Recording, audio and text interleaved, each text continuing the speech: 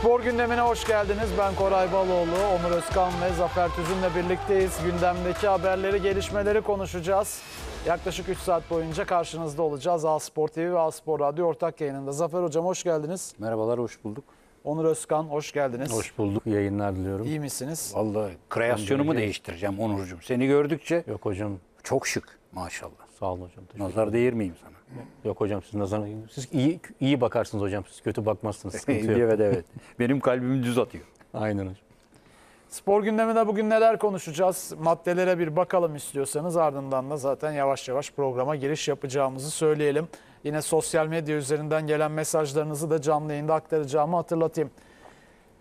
Milli takım A Ligi'ne terfi için Karadağ deplasmanında Suudi Arabistan'dan En-Nesiri'ye büyük ilgi, İbrahim Hatipoğlu'ndan Victor Osimhen açıklaması, Gabriel Paulista İspanya basınına konuştu. Trabzonspor devre arasında kaç transfer yapacak? Konu başlıklarımız. Bunların dışında da yine farklı konuları da konuşacağız ama Karadağ ile başlayacağız. Ardından En-Nesiri Suudi Arabistan konusunda ciddi iddialar var ve e, İbrahim Hatipoğlu Victor Osimhen'deki maddeyle ilgili açıklama yaptı. Yine onu belirteceğimizi söyleyelim. E, gündem maddelerimiz bu şekilde. Onur Özkan siz e, gazetede Takvim gazetesinde tabii şey yapıyorsunuz. Transfer haberlerine Transfer haberlerine veriyoruz. girmeye başladınız. Normal gündem maddelerinizde neler vardı sizin bugün? Sabah bir gündem toplantınız Tabii vardır. ki yaptık. Ee, özel işlerimiz var. Onları söylemeyeyim tabii şimdiden. Ha, yarın için. Yarın çıkacak. tamam. E ama tabii ki bizim de ana gündemimiz Fenerbahçe bazında Talişka, Galatasaray bazında Victor Osimhen konusundaki gelişmeler. Hatta Osimhen'le ilgili e, Galatasaray kısmında söylerim. Yönetimin bir formülü var Osimhen transferiyle alakalı. Onu da değiniriz. Tabii Talişka konusu çok sıcak bir gündem maddesi. Baktığımız zaman ara transferi ciddi bir zaman olmasına rağmen e, Fenerbahçe adına ciddi bir hareketlilik var şu anda. Anderson Talişka tarafında ve e, hani bu artık spekülasyonu geçmiş vaziyette. Direkt ilgi, alaka, olay teklife dönüşmüş durumda şu anda. Fenerbahçe ve Al Nassr arasında resmi görüşmeler var. Talişka ile resmi görüşmeler var. Dolayısıyla gündemin ilk maddesi şu anda çok heyecan verici bir isim de olmasından dolayı Anderson Talişka tabii ki. Galatasaray kısmında da demin de dediğim gibi Victor Osimhen yaklaşık bir hafta 10 gündür bizim hep gündemimizin ilk maddesi Osimhen transferi Galatasaray adına. Ee, dediğim gibi onunla ilgili birkaç da bilgi vereceğim. Sıcak gündem bunlar şu anda. Bir de milli takımımızın tabii ki çok önemli bir maçı var bu akşam. Evet. Bu akşam A Milli Futbol takımımız Karadağ ile karşı karşıya gelecek. Milli takımla başlayacağız biz de. A Milli Takım Teknik Direktörü Vincenzo Montella Karadağ mağlup ederek Uluslar Ligi'nde A Ligi'ne yükselmeyi hedeflediklerini söyledi. Gelin şimdi basın toplantısına gidelim ardından milli takımı konuşalım. Vincenzo Montella ve Hakan Çağlanoğlu'nun maç öncesi açıklamalarını ekrana getirdik. A Milli Futbol takımı bugün kazandığı takdirde diğer maçların sonucuna bakmaksızın 14 puanla lider olarak adını A Ligi'ne yazdıracak temennimiz bu yönde. Nasıl bir maç bekliyorsun Onur Özkan? Ya çok önemli bir maç. Neden çok önemli? Tabii ki A Ligi'ne çıkmak e, bizim için mühim. E, Çünkü yerimiz orası bizim.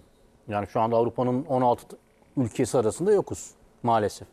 Ama baktığımız zaman yaptığımız yatırımlara, e, ligimizin, kulüplerimizin harcadığı paralara, ülke futboluna olan ilgiye, alakaya yani bizim yerimiz mutlaka Avrupa'nın ilk 10 ülkesi arasında olmaktır diye düşünüyorum. Ama şu anda bizim seviyemizin çok altında birçok takım A liginde, biz B ligindeyiz. Tabii e, geçmiş yıllarda e, yaşanmış bazı olaylar, bir enkaz var. Bu enkazın şu anda izleri hala silinmeye çalışılıyor.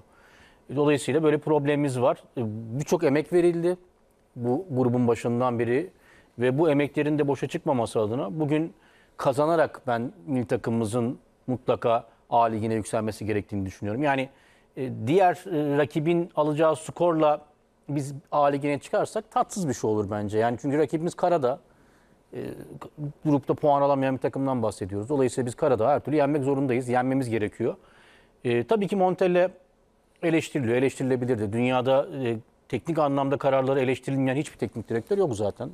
Şu anda İngiltere'nin bir numaralı tartışma konusu Guardiola. Yani Guardiola'nın 4 maçtır kazanamaması, Manchester City'nin çok ciddi kötü sonuçlar alması şu anda bu kadar başarılı bir teknik direktör bile tartışılabiliyor. Bu son derece doğal. Ülkemizde Okan Buruk ciddi eleştiri alıyor, tartışılıyor. Bunlar son derece doğal, işin içinde olan şeyler. Ancak e, ben Vincenzo Montella'nın geldiği günden bu yana birçok şeyde başardığını düşünüyorum. Yani e, performansını tartıya koyduğum zaman iyi yaptığı şeyler çok daha fazla bence ağır basar. Yaptığı hatalara göre. Mesela e, geçmiş yıllarda bizim en çok şikayet ettiğimiz noktalar var. Nedir bunlar? Milli takımımızın hiçbir zaman özellikle uzun bir süredir geçmiş yıllarda bir oyun istikrarı yoktu. Yani e, ancak çok iyi motive olduğu zaman iyi futbol oynayabilen, organizasyon kısmında hep problemli bir milli takımımız vardı. Bence Montella yönetiminde ilk maçtan bugüne geldiğimiz noktada ciddi bir gelişim var. Yani milli takıma baktığımız zaman birinci maç ve en son maç bakalım Galler maçına ne oynamak istediğini bilen bir takım görüyoruz. Oyun eleştirilebilir, hocanın tercihleri eleştirilebilir ama bir oyun var ve bu oyun üzerine sürekli kafa yoran bir teknik direktör ve bir gelişimden mutlaka bahsetmemiz gerekiyor. İki oyuncu istikrarı. Sürekli değişen kadrolar, değişen oyuncular, değişen 11'ler. Ee, takım olgusunu bir türlü yakalayamayan bir ekipten bahsediyorduk ama Montella yönetiminde şu anda milli takımımızın 9-10 oyuncusunu ezbere sayabilecek durumdayız. Bu da çok kıymetli bence. Yani Avrupa Şampiyonası geçirdik, elemeler geçirdik. Şu anda Uluslar Ligi'ndeyiz. Milli takımımızın mutlaka e, bazı oyuncuları direkt olarak ilk 11'de oynuyor sürekli ve bir takım olgusunu kazanmaya başladık. En önemlisi bence şu, yeniden ülke halkının sahiplendiği bir milli takım bence kazandık diye düşünüyorum. Yani şunu net gözlemliyorum çevremden de. Milli takımın maçı olduğu zaman heyecan duyan, milli takım maçını izlemek isteyen, e, yeniden o ay yıldızı forma için kalbi atan oyuncu grubunu gören sahada bence bu çok kıymeti diye düşünüyorum. En kıymetlisi bu. Çünkü son 4-5 yılda biz bu duyguyu kaybetmiştik. Biraz kulüpçülük, e, biraz milli takımın içinde yaşanan farklı olaylar bizi soğutmuştu milli takımdan. Bunu kabul etmemiz gerekiyor. Ama bence o ruh, o enerji yeniden kazanıldı. Bence Montella'nın geldiği günden bu yana yaptığı en iyi şey buydu. Yeniden ülkenin takımına dönüştü milli takım diye düşünüyorum bence. O yüzden de bugün tüm bu iyi şeylerin bence iyi bir şekilde sonuçlanması gerekiyor. Çünkü bugün aksi bir sonuç çıkarsa şunu net biliyorum ki Montella'yı eleştirmek için hatta tırnak içinde Montella'yı idam sehpasına koymak için hazır bekleyen bir grup da var. Bunu kabul etmemiz gerekiyor. Bunun gerçekleşmemesi için ben Montella'nın grup? Ya açıkçası medyada bir grup var böyle. Medyanın içinde bu grubun tabii ki e, Neden yani Montella'nın gitmesinin onlara ne faydası oluyor? gelecek olan yerine teknik adamlar üzerinden bir algı oluşturuluyor. Yani Montella gideceği zaman muhtemel adaylar var 4-5 tane. O, aday, o adaylar üzerine bir PR çalışması yapılıyor sürekli. Ana fikir yerli malı kullanmalı mı? Yani o da, ona da saygı duyuyorum ayrı bir şey. Yani milli takımımızın hocası Türk olmalı fikrine de saygı duyuyorum. O başka bir nokta ama yani Montella gitsin yerine bizim adamımız gelsin şeklinde bir görüş de var çünkü ben onu görüyorum. Yani halen çünkü o kadar sert eleştiriler var ki Montella ile alakalı. Hani bunun bence sahada oynanan oyunla falan çok bir alakası olduğunu düşünmüyorum. Kulüpçülük kısmı da var. Evet bunu da kabul ediyorum. İşte benim oyuncum niye oynamaya diyen bir taraf da var eleştiri kısmında ama e, medyada ciddi böyle bir kısım kesim olduğunu düşünüyorum açıkçası. Onlara da fırsat vermemek adına. Çünkü ben Montella'nın ciddi bir süre milli takımımızın başında kalması gerektiğini düşünüyorum. Şansımız olduğunu düşünüyorum Vincenzo Montella'nın. E, o yüzden de bugün mutlaka kazanıp A Ligi'ne yükselmemiz gerekiyor her anlamda. Hocam siz nasıl görüyorsunuz milli takımı? Ya şimdi taktiksel çeşitliliğe açık bir milli takım kadrosu var elinde Montella'nın. Ben geçen gün onu çok şanslı olarak e, adlettim Montella'ya. Hakikaten öyle. Çok güzel bir jenerasyon geldi eline. E, Her maça göre e, farklı şablonlarla çıkmaya açık bir milli takım kadrosu olduğu aşikar. Fakat teknik direktörler e, teknik direktörleri diyeyim diğerlerinden ayıran en büyük özellik nedir? Fikirleridir. Ben fikirleri açısından ve e, tercihleri açısından biraz eleştirmiyor değilim. Nasıl Zaten ki? eleştirilebilir hocam en doğal şey. Yani şimdi mesela e, Galatasaray'dan ayrıldıktan sonra forma giren, ondan sonra Benfica'da iyi işler yapan, ondan moral motivasyonu zirveye çıkan bir e, Kerem var. Şimdi Kerem kardeşimiz e, Galler maçında o kadar hırslıydı ki fakat hırsı mantığını geçti. Mantığını kullanamamaz hale geldi. Ve rakibin üstüne gidiyor birkaç da e, geçemeyince rakibi gardı düştü. Mesela ben onun yerine olsam Montella'nın ikinci yarı onu oyundan alırdım. Bırakın daha penaltıya kadar gitmeyi. Şimdi hırsı mantığın önüne geçen futbolcunun beyni işlemez. Çalışmaz. Kafası durur. E şimdi orada daha iyisini yapmaya çalıştıkça da tersi olur. Ama Montella ne yaptı? Dedi ki e, bir de tebrik etti. Ya kardeşim futbol somut görevlerle oynanan bir şey. Penaltıyı sen atacaksın. Antrenmanda da herkes çalışıyor. E, Kerem'e şimdi orada penaltı attırmak. Biz atsak bugün Dünya Kupası bileti elimizdeydi. E buradaki tercihi ona yazıyor. Sen şimdi bu kadar tamam belki savunma e, güvenliğini e, oturtturdu gibi milli takımda. Fakat diyoruz ki öyle bir kadro var ki elimizde. Hatta ve hatta şimdi 4-6-0 oynuyor derken ben kendi kendime soruyordum. Bu altılı orada ne yapıyor? E şimdi sen bu tür galibiyet aldığın zaman Dünya Kupası bileti alacağın maçlarda bir tane santrafor koyabilirsin abi. Bundan doğal bir şey yok. İnat etmeye gerek yok yani. Ben onu söylemek istiyorum. Bak diyorum ki e, her türlü çeşitliliğe açık bir kadro var elinde diyorum.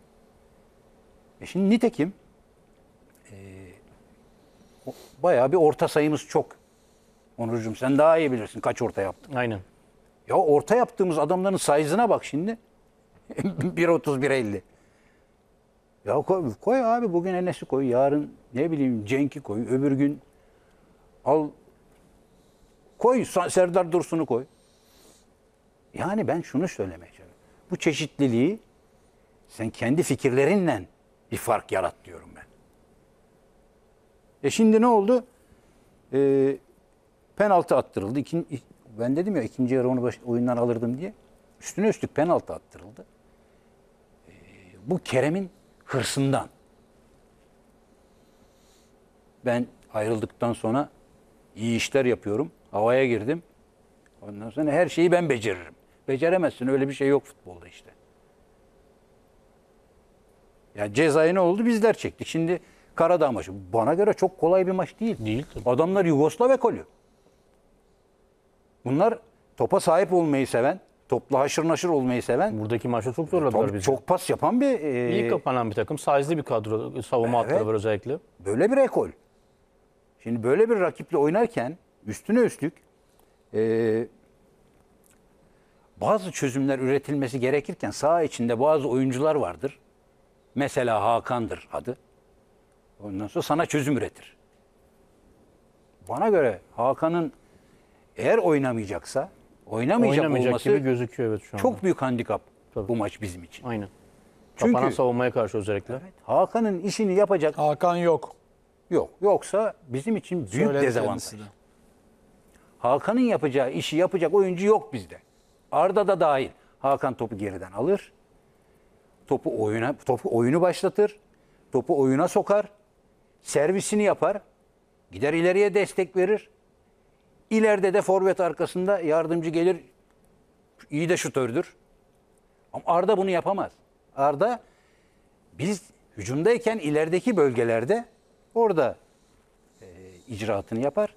Orada ceza sahası 18 çevresinde yapar. Hakan'ın yapacağı işi yapmaz. Hakan'ın yerine oynatıyoruz mesela İsmail. Ben buna da karşıyım. Ya zevkli durum oyuncusu vardır. Bu kimdir? Hakan'dır. Kimdir? Arda'dır. Bir de zevksiz durum oyuncusu vardır. İsmail. Bunun görevi nedir abi? Gelen rakibi karşılar, topu alır, doğru işi yapar. İşini doğru yapmaz. Bak, doğru işi yapmak çok önemlidir. İşi doğru yapmaktan önemlidir. Takım içinde var mı peki hocam o Hakan'ın görevini yapabilecek ikinci bir Aa, oyuncu? gireceğim şimdi. Şimdi o İsmail alır, topu keser, en yakındaki oyuncuya garanti verir. Değil mi?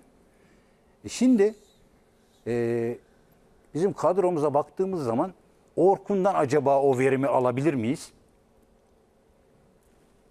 Bence olabilir. Gibi. Hakan olmaz da Yok tabii ki değil. ondan sonra belki bir çeyreği olur. Yeter mi? Ama bu maçta kilit çözecek adam lazım. Çözüm üretecek adam lazım bize. Şimdi Arda büyük yetenek. Ama oynamadığından dolayı fiziksel kalitesi biraz düşük. E, rakip de şimdi şey değil yani. Bizi, onlar da bizi inceliyor. Şimdi bakıyor. Burada icraat yapacak adam kim? Ar- Arda. Ona biraz yakın oynadığı zaman ki aslında biz bu Yugoslav ekolüne karşı alan savunmasını ve adam adama savunmayı iyi yapmalıyız. Bunlara kademeye iyi girmeliyiz. Bizim bekimiz çalım yiyor Onurcuğum. E, stoper kademeye geliyor bizim bek seyrediyor. Ya kardeşim gitsene stoperin arkasına. Çırpınıp duruyoruz ondan sonra. Yabana atmayalım bunlar. Hepsi becerikli. Yugoslav ekolü teknik kapasiteleri becerikli adamlardan oluşur. Ya Top- hüc- hücum- topa sert olurlar. Hücum ve yetenekleri Evet. çok sınırlı bir takım.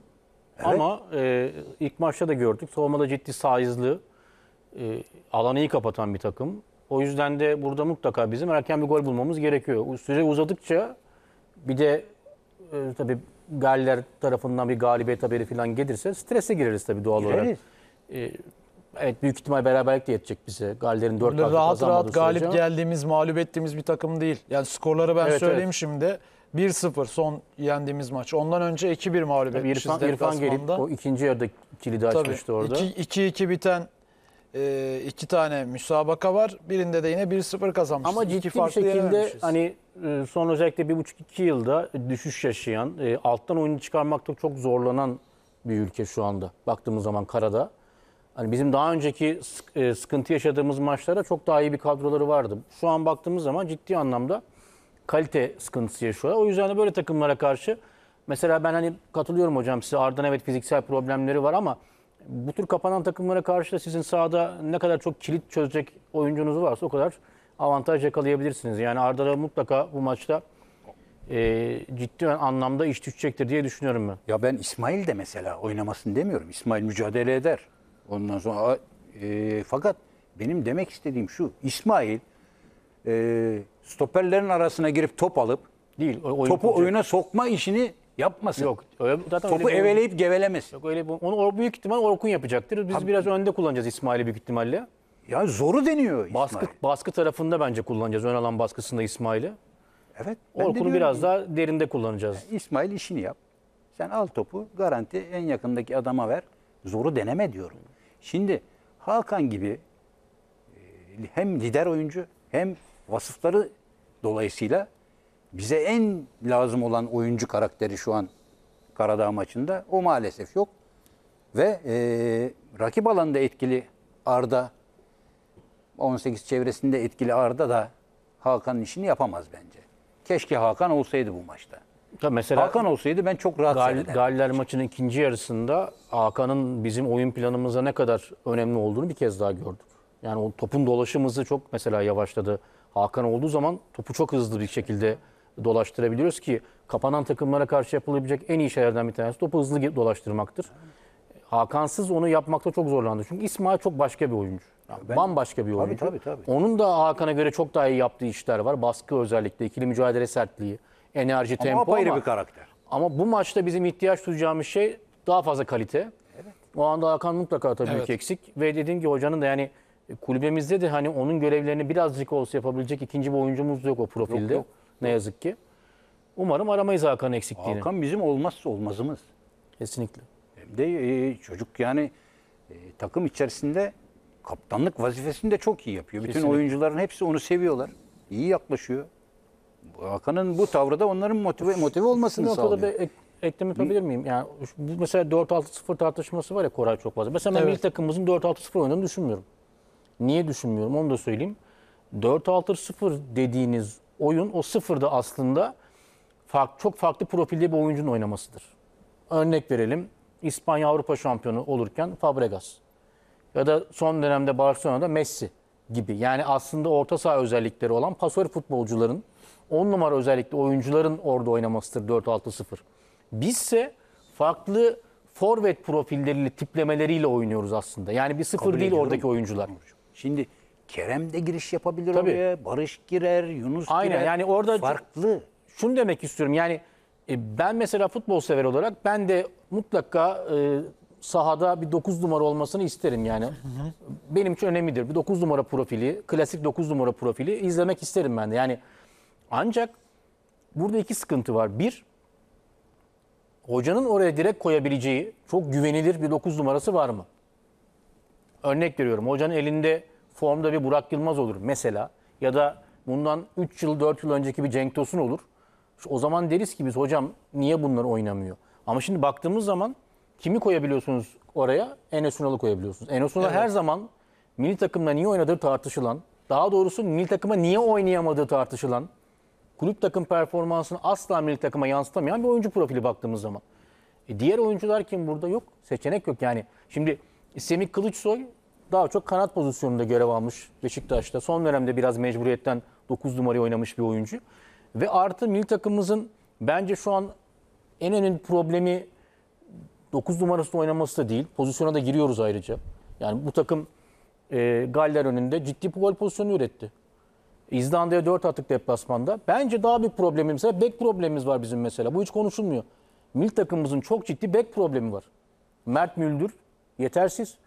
Zeki Çelik mesela. Ben asla bu seviyede nasıl oynadığını anlayamadığım bir oyuncu Zeki Çelik. İşte İkisinin de zafiyetini Neyi yapıyor anlattın. Zeki Çelik mesela? İyi ben çözemedim bugüne kadar. Milli takım, Roma.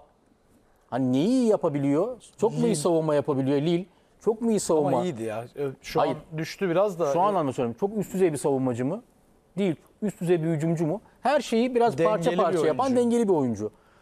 Ancak şu anda ciddi bir zafiyetimiz. Sol beke bakıyoruz. Ferdi olmadığı zaman Eren oynuyor. Eren iyi bir maç çıkardı kabul ediyorum ama o da tartışılan bir oyuncu milli takım performansı ve Trabzonspor performansı. Yani bence milli takımımızın şu anda en ciddi problemi bek problemi diye düşünüyorum. Bek problemi geliyor gibi gözüküyor ama Zeki konusunda şeyde farklı düşünüyorum. Ya dengeli olmak da bazen çok değerli. Tabii ya. ki değerlidir ama son dönemde iyice sıradanlaşmaya başladı Evet. Zeki. Ya geriye gittiği aşikar performansı ama sonuçta oyuncu Lille'de şampiyonluk Ya, yaşadı. tabii ki yaşadı. Hiçbir Defalarca haftanın ayın en iyi oyuncuları arasına Yani seçildi. temposu iyi olduğu zaman bir şekilde katkı veriyorsan ama temposu Düşüşte düşük şu an olduğu zaman çok- şu anda niye oynuyor ben bilmiyorum mesela milli takımımızda. Hani bir de oyuncu Alternatifi de tabii yok. işte ki. sıkıntı orada. O zaman o zaman gene hocaya düşüyor iş. Siz Zeki Çelik'in performansını beğeniyor musunuz? Ya e, evet eski Zeki değil ama en azından görevini yapabilir abi. Tabii. Yani ben şunu söylüyorum demin anlattım yani bekimiz çalım yiyor. Stoperimiz kademeye giriyor. Bir şey soracağım Koraycığım. Adam stoperi de bastı geçti. Ne olacak? Boş kaldı. Ya bunu bari yap Zeki. Bunu bari yap Mert. Bunu bari yap Eren. Ya sen sen de o stoperin kademesine gir abi. Koşacaksın 3 metre 5 metre ya. Biz peki Ama- santrfor yetiştiremiyor muyuz? Bir yandan o konuya da geliriz. var de. eksiğimiz var ama önce şunu Onur'un söyleyeyim. de- Şimdi tabii. maç sırasında e, olabilecek anlık pozisyonları teknik direktörler hocalı şeye futbolcularına öğretecek. Bunu çalıştıracak. Ama hocam milli Ya- takım hani e, futbolcuya bir şey öğretebileceğiniz bir yer olmuyor genelde. Hani öğrenmiş futbolcuyu getiriyorsunuz. Çünkü futbolcuyla geçireceğiniz zaman Ters çok kademeyi de kısıtlı. anlatacaksa artık hiç milli takıma Vallahi gelmesin sana zaten. bir şey söyleyeyim. Bir Fener 15 gün geçiriyorsunuz maksimum milli takımla yani. Okan'cım şey e, Onur. Onurcuğum. E, rahmetli Stankovic. Evet. Abi adam geldi. Yan ortaları çalışıyoruz. Ondan sonra kim orta yaparsa yapsın kızıyor. Bağırıyor mamma mia bilmem ne. Ulan diyoruz Allah Allah ne yapacağız abi herife yani güvercin takla atıp mı yapacağız ortayı filan. Adam geldi dedi ki ya orta nasıl yapılır kardeşim? Ondan sonra işte hocam geliyor Onur geliyor ben buradan Onur'a keserim. Ondan hani yap bakayım. Yapıyorsun şimdi ortayı. Onur'a atacağım ya ben. Ondan sonra yok be çocuk. E ne yapalım? Avut çizgisine, avut çizgisine yüzünü vereceksin ve ayağını döndüreceksin diyor adam. O zaman top ne yukarı gidiyor ne şeye ve tam isabet sağlıyorsun. E Fenerbahçe takımında bize bunu öğretti adam. Ama hocam o sizin hocanızdı Fenerbahçe. Kulüp Evet. takımında bu Ama olur milli yani. Demek takımda istediğim- olur mu? Milli takımda Beraber, çok zor beraber böyle olduğu şeyler. zaman çok mu şey bu? Şimdi elbette ki rakip takım analizi yapılıyor değil mi? Kendi takımımızın analizi de yapılıyor. Tabii ki yapılıyor. Şimdi e, Zeki'nin çalımı yedikten sonra gelen stoperin arkasına kademeye girdiğini görmüyor mu hoca? Bunu söylemesi abesle iştigal mi? Ya uyarısını yapıyordur ama bunu öğretemez. Onu demek istiyorum. Hani Zeki'ye bu öğrenmemişse Zeki zaten bu zamana kadar bu problem. Artı bunu kim öğretebilir? Roma'daki hocası öğretebilir. Yani milli takım hocası futbolcuya bir şey öğretebilecek zamana sahip değil. Yani milli takım sonuçta Zeki biliyordur onu zaten ya. Maç içi anlık bir şeydir. mesela şey var hocam yani ya orta yapıyoruz değil mi çok fazla? Bir 9 numaramız yok. Ya hoca mutlaka maç öncesi diyordur. Yerden oynayın ama bazen anlık olarak saha içinde öyle bir noktaya geliyorsunuz ki rastgele orta yapabiliyorsunuz. İşte Barış Alper Yılmaz'ın 3 pozisyonda ceza sahasında bir tek Arda var. 4 tane savunmacı var. Orta yaptığını gördüm mesela oraya. Yani Montella'nın bunu söylememesi mümkün değil.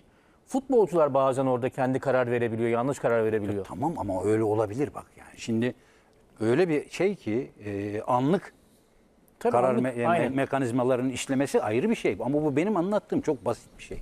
Yani diyorum ki ben bu e, saha içerisinde bu görülüyor değil mi bizde? Sen bu kesiti alıp futbolcuna bunu söyleyebilirsin. Söylemen lazım. Ben onu söylüyorum yani. Evet. Ama ben bakıyorum savunma e, mekanizmasını oturtturdu bu e, Montella dediğimiz şeyde. Bu eks- eksiklikleri görüyorum ben mesela. Ben niye söylüyorum bunu? Her ne kadar daha puan almamış olsa dahi, her ne kadar bir tane gol atmış olsa dahi, eğer ki alan savunmasını, adam savunmasını, kademeyi iyi yapmazsan bunlar tehlikeli takım bu kadar. Duran toplar özellikle çok tehlikeli. Bak ona dikkat etmemiz gerekiyor. Yani Karadağ takımı için en büyük silah duran toplar. Çünkü tahmin Onuncu bizim kalemize zor gelirler. Peki duran toplardaki adam paylaşımı ne? Bu da somut görev. Ben diyorum ki somut görevler ver bizim çocuklarımıza yani. Bizim çocuklarımız mesela e, ön bölgede Evet. Kerem dağınık. Yunus bir nebze Barış Dağınık. Barış dağınık. E, O da Yunus ve Kenan daha spontane gelişiyor bizim ataklarımız. Gelişmiyor mu? Gelişiyor. Pozisyon bulmuyor muyuz? Buluyoruz. Çünkü bunların üçü de rakip için tehlikeli profiller. E, Sürekli bu- yer bu değişiyorlar bir de sürekli. Tabii bu da bizim için zenginlik. Ama ben diyorum ki o santiforu oraya koymadığın zaman şimdi rakip nokta santiforla oynamıyor. Ben iki tane stoper olayım rakibin. Ah derim kebap. Üstüme gelen yok bilmem ne yok. Kenardan Kerem topla içeri girmeye çalışacak.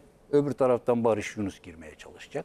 Ama şu da yok mu hocam? Yani e, Ama içeri koşaltanlar var. Onu yani. demek istiyorum. Klasik Var. 9 numara daha tahmin edilebilir bir şey. Yani oyuncu sizin hemen dibinizde zaten ceza sahası içinde ve hani iki stoperin onu kollama şansı daha fazla ama Enes de tip- çok bu- gezen adam ama. Hayır şimdi demek istediğim şu. Yani ben de kabul ediyorum. Milli takımımız bir 9 numarayla oynamalı. Hiçbir itirazım yok buna. Ama kim oynayacak noktasında bence tartışma var. Hani illa biri oynasın demek de çok doğru bir çıkış Hayır, noktası doğru. değil. O profilde şu an geçerli adam var mı? O formaya giyebilecek olan oyuncunun gerçekten o pozisyonda oynamayı hem iyi bilmesi hem de form itibariyle hak etmesi gerekiyor formayı. Ama illa birisi oynasın diye de 9 numara koymak bana çok doğru gelmiyor. Yoksa hocanın elinde bence iyi bir 9 numara olsa mutlaka kullanır. Ya 20 küsür tane orta yapıyoruz abi. O kesinlikle en büyük hatamız o zaten yani. Şimdi bir şey söyleyeceğim. Yunus ortayı yapıp koşup kendi mi vuracak? Sıkışıyor bırak bazen onu. hocam oyun. Bak- Çözüm bulamayınca ona işte direkt en basit iştir biliyorsunuz. Orta yapmak. İşte mesela ben burada da mesela hocaya diyorum. O anı alacaksın, bir, o, o kesiti alacaksın. Diyeceksin ki ya Yunus girdi. Kesecek daha çizgiye iniyor. Besbelli yani. E gir kardeşim sol açık tarafından ön direğe bas koşuyor. Ortadaki adam bas ikinci direğe koşuyor. E Hocanın bu açıklamasını nasıl değerlendiriyorsunuz? Kararlarımı mantık çerçevesinde alıyorum. Milli takımın iyiliği için uğraşıyorum. İnsanları memnun etmek için değil diyor Montella. Evet, buyur. Ya açıkçası e, ben bu açıklamaları çok doğru bulmuyorum. Neden doğru bulmuyorum? Ee, eleştiri olacak. Eleştiri bu işin doğasında var. Övgü de bu işin doğasında var. Övgü alırken bir problem yaşamıyoruz ama eleştirildiği zaman birçok teknik direktörümüz bu konuda şi- şikayette bulunuyor. Hayır bunlar çok doğal futbolun içinde olan eleştiriler. Tek, bunlar teknik eleştiri. Ee, bu olacak, tartışılacak. Ben şunu beklerdim, saygı duyuyorum. Ben de kendi doğru bildiklerimi yapıyorum ama hani insanları memnun etmek için çalışmıyorum ifadesi çok doğru bir ifade değil bence. Aynen. Yanlış bir Ortak ifade. menfaatimiz aynı. Tabii, Türk milli aynen. takımın. Öyle değil mi? Bazen sağ kenarında farklı kararlar verebiliyoruz. Biz farklı düşünebiliyoruz. Yani daha yumuşak bir geçiş olabilir bu konularda. Ben şunu görüyorum. Montella'da bu konuda hep sakin biliriz ya Montella'yı. Hep güler yüzü, neşeli bir Akdeniz insanı. E, sanırım bu eleştiriler biraz e, sıkmış Montella'yı. Sıkmamalı, hayır. E, Türk milli takımının teknik direktörüyseniz bu eleştiriler her zaman olacaktır. Çok doğaldır bu. E, dediğim gibi sonuçta Montella'nın teknik adamlığıyla alakalı, insanlığıyla alakalı bir şey değil bu. Verdiği teknik bir kararla ilgili bir eleştiri bu. Çok da doğal bu. Çok da bence normal karşılaması gerekebilir bu eleştirileri diye düşünüyorum. Ortak misyonumuz, ortak vizyonumuz aynı yani. Türk milli takımının başarısı. Ve elinde inanılmaz alternatifli bir kadro var. O kadar çeşitliliğe yani var var her yerde mesela, var varız. mesela Koray ben şunu da çok abartı buluyorum. Muazzam bir jenerasyon, muazzam bir kadro var elimizde. Bazı pozisyonlara çok zenginiz evet. Yani hücum bölgesinde özellikle kanat pozisyonunda, orta sahada, merkezde ciddi zenginliğimiz var. Ama savunmanın ortası problemli. Alternatif anlamında. Bek pozisyonu problemli. Şimdi Abdülkerim Bardakçı ceza aldı değil mi? Bugün yok bildiğim kadarıyla. Evet. Kim oynuyor yerine? Muhtemel 11'i rica edelim. Oradan da bakalım o zaman hemen. Hemen Yine bakalım. bugün kimler oynayacak? Samet ya da Kaan oynayacak. Başka kim? Samet'le Başka alternatif var mı? Şimdi Samet yanında da Melih. Şimdi demek istediğim bu. Şimdi Samet Akaydın oynuyor şu anda. Yani normal şartlarda bizim demek ki çok zengin bir milli takım kadromuz yok. Bazı pozisyonlarda zenginiz, bazı pozisyonlarda problemliyiz. Ama sakatlarımız var şimdi. Samet normalde Çağlar ideal- olsa Çağlar da olsa- problemli bir oyuncu. Bak Çağlar da Fenerbahçe'de en çok tartışılan isimlerden bir tanesi. Ama ne bekliyorsun ki? Van Dijk gibi ayarlama Hayır. mı olacak? Şunu demek istiyorum. Yani bizim hücumdaki zenginliğimiz savunmada yok. Hücumdaki kalitemiz savunmada yok. Onu demek istiyorum. İsim anlamında. Yani hücumda şimdi bakıyoruz. Birçok oyuncu dışarıda kalmış durumda. Oynayamayanlar var, sakatlığı var. İrfan şu an kadroda yok mesela. Sakatlığı var. Doğru. Enes Ünal kulübeden giriyor. Semih oynayamıyor. Bugün mesela Barış Alper Yılmaz kulübede gözüküyor şu kadroda. Demek istediğim hücumda zenginlik var. isim anlamında ve kalite anlamında zenginlik var. Ama savunma kısmında bence problemliyiz. Bek konusunda problemliyiz. Dolayısıyla muhteşem bir milli takım kadrosu olduğunu düşünmüyorum ben. Bence son Yani ne dönemde kadar- en iyi geniş Ne kadar savunmayı yani. toparlarsa topar, toparlasın bu kadar potansiyelli takımı o zaman geriye yaslamayacaksın. Yok, Tek kurtarışımız o. Önde baskıyı da yapıyorlar son Bir maçta. de bir hatamız daha var bizim. Stoperlerimiz çok bizim kalemize yüzünü dönüyor. Esas tehlike o. Bazı korner atışlarında da görüyorum ben mesela. Adam adam adama savunma yaparken top soldan e, sol kor- e, e, köşe Evet. kö- köşeden atılıyor korner. Bizim oyuncumuz adamla böyle. Yahu arkadaş topa baksana ya. Ama adam atacak golü. Bir yandan bazıları da öyle der de ya. Ha, adam Konuşuruz bir, bir onu de. He? Ee, Mustafa Çulcu bizimle birlikte. Ee, kendisiyle de tabii e, bu yabancı var konusu çok fazla gündeme gelmeye başladı. Geçen sezon olduğu gibi yeniden uygulamaya girecek mi girmeyecek mi onu biraz konuşalım istiyoruz. Mustafa Hocam hoş geldiniz.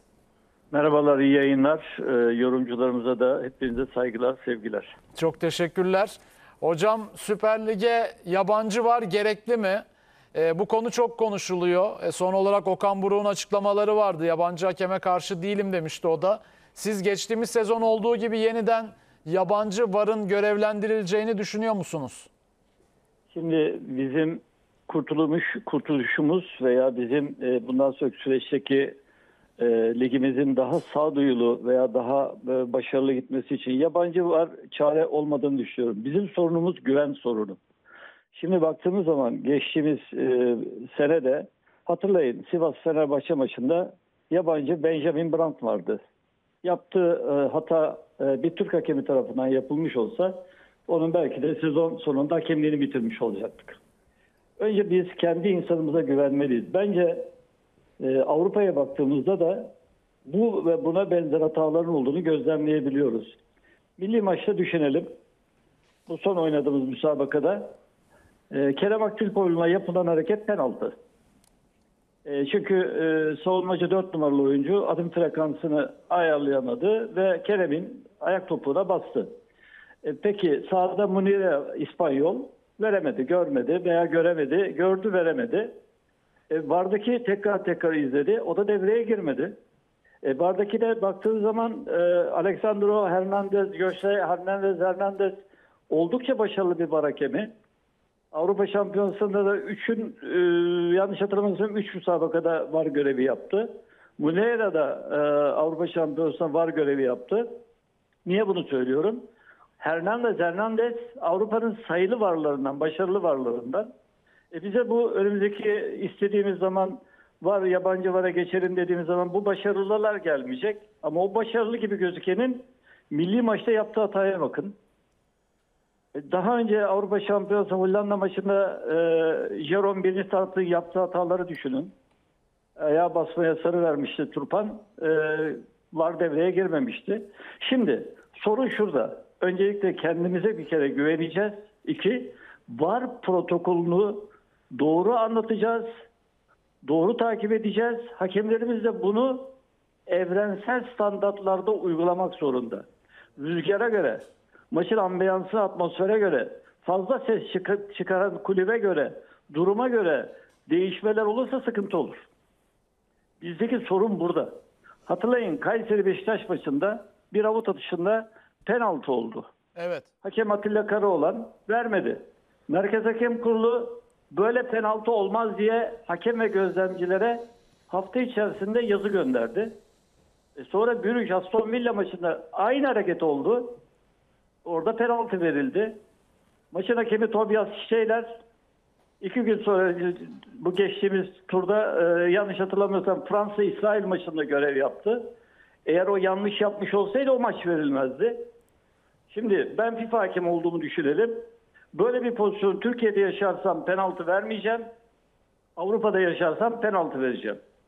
Buradaki sıkıntımız bu. Evrensel standartlar üzerine odaklanıp ısrarla kim bağırsa bağırsın, hangi kulüp tepki verirse versin üzerinde durmak zorundayız. Rafa Silva'yı ihtilal var devreye girmedi. Kırmızı kartlı bariz gol şansı uygulanmadı devam edildi. O maçın hakemleri maça gitti. E sonra Galatasaray e, maçında Soner'i e, Nelson itti. Var devreye girdi. Ali Mutmeler geldi penaltıyı verdi. Bu çelişkiler güven sorunu yaratıyor.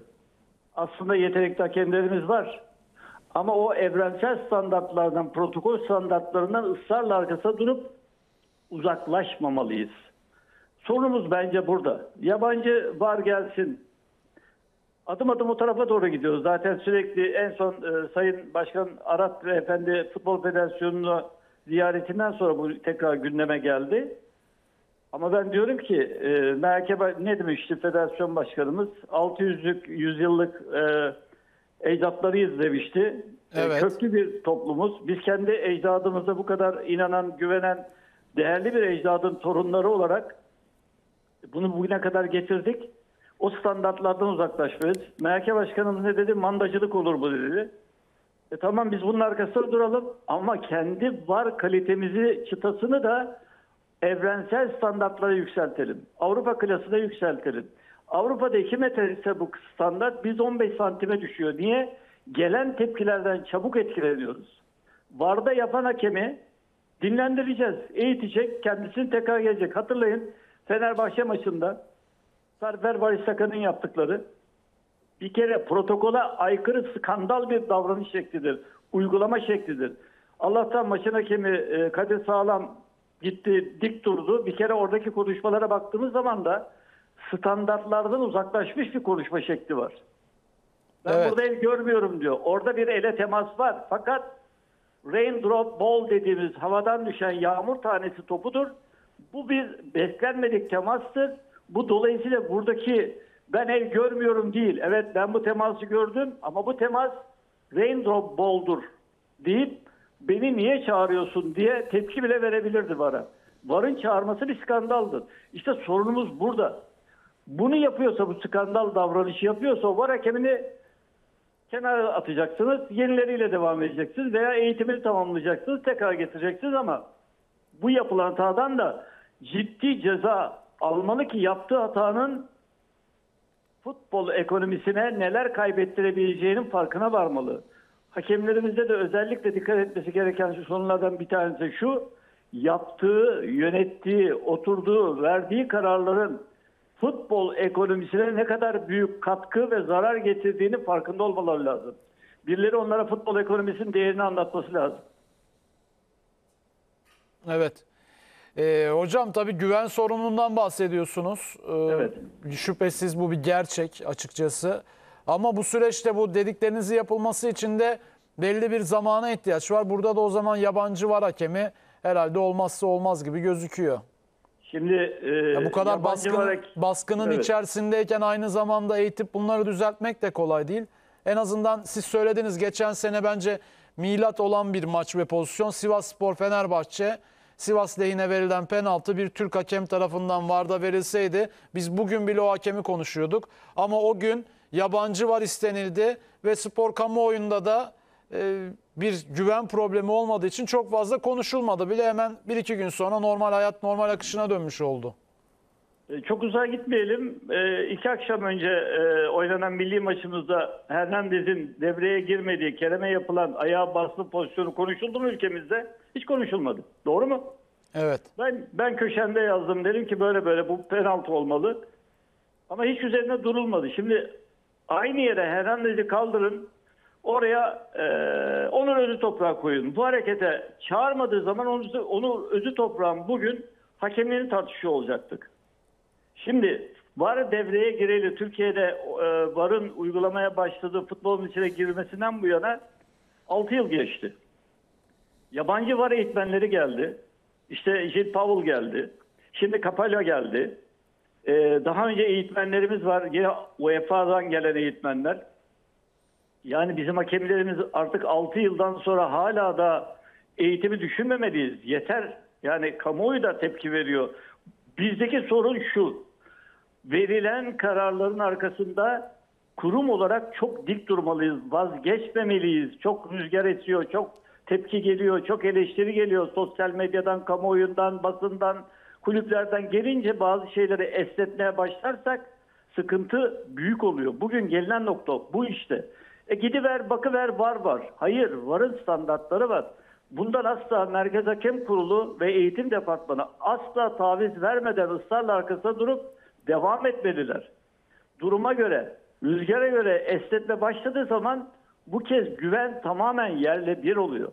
Sorunumuz esas burada. Bu eğitmenler zaten UEFA standartlarını anlatıyorlar. Bakın geçen seneki eğitmen Huk Dallas vardı burada. Gittik şimdi nerede Huk Dallas? Premier Lig'de eğitmen. Bizden gitti Premier Lig'e gitti. Eğitmenlik yapıyor. E bu eğitmenden biz de eleştirdik verdiği karar. O da geliyor bize. Bir süre sonra bizden biri olmaya çalışıyor. Olmaz. Standartların arkasında duracağız. Kararlılığımızı göstereceğiz. E, MHK duracak hakemlerin arkasında. MHK ve hakemlerin arkasında Futbol Federasyonu duracak. ısrar edecek. Hata yapan tabii ki olacaktır. Dinlenecek. Ama VAR protokolü da kamuoyuna bu temel prensiplerini çok iyi anlatıp öğretmemiz, bildirmemiz lazım. Evet. Hocam teşekkür ediyoruz değerlendirmeleriniz için sağ olun. Ben teşekkür ediyorum. İyi yayınlar. Konuklara da selamlar, saygılar. Görüşmek üzere.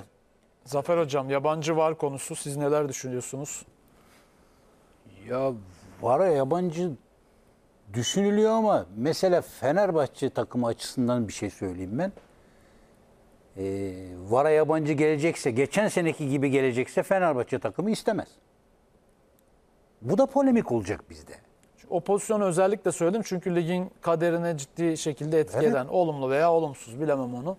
Ee, bir pozisyondu. Aynen ve hiç konuşulmadı Yani? Mustafa Hoca'dan ayrıldığım nokta şu milli şu aşamada Uluslar Ligi'nde milli maçta bir penaltımızın verilmemesinin Türk spor basınında o kadar taraftar nezdinde de bir karşılığı yok. O kadar çünkü ciddiye almıyor insanlar. Aynen ama Şampiyonluk yolunda ama bir pozisyon Şampiyonluk olduğunda yarışı olunca- hem e, rakipler hem o takım e, çok daha ciddi şekilde reaksiyon gösteriyor. Ondan dolayı. Ya bir kere Fenerbahçe çıkıp itiraz dahi etmedi o edemedi. pozisyondan Niye? sonra. Çünkü Fenerbahçe istemişti yabancı var hakemi. Aynen. En çok İşte isteyen işte, o kulüplerden bir yüzden. tanesiydi. Şimdi gelecekse de eğer öyle gelecekse istemez. Hocam öyle değil. Zaten bu işin doğasında var bu.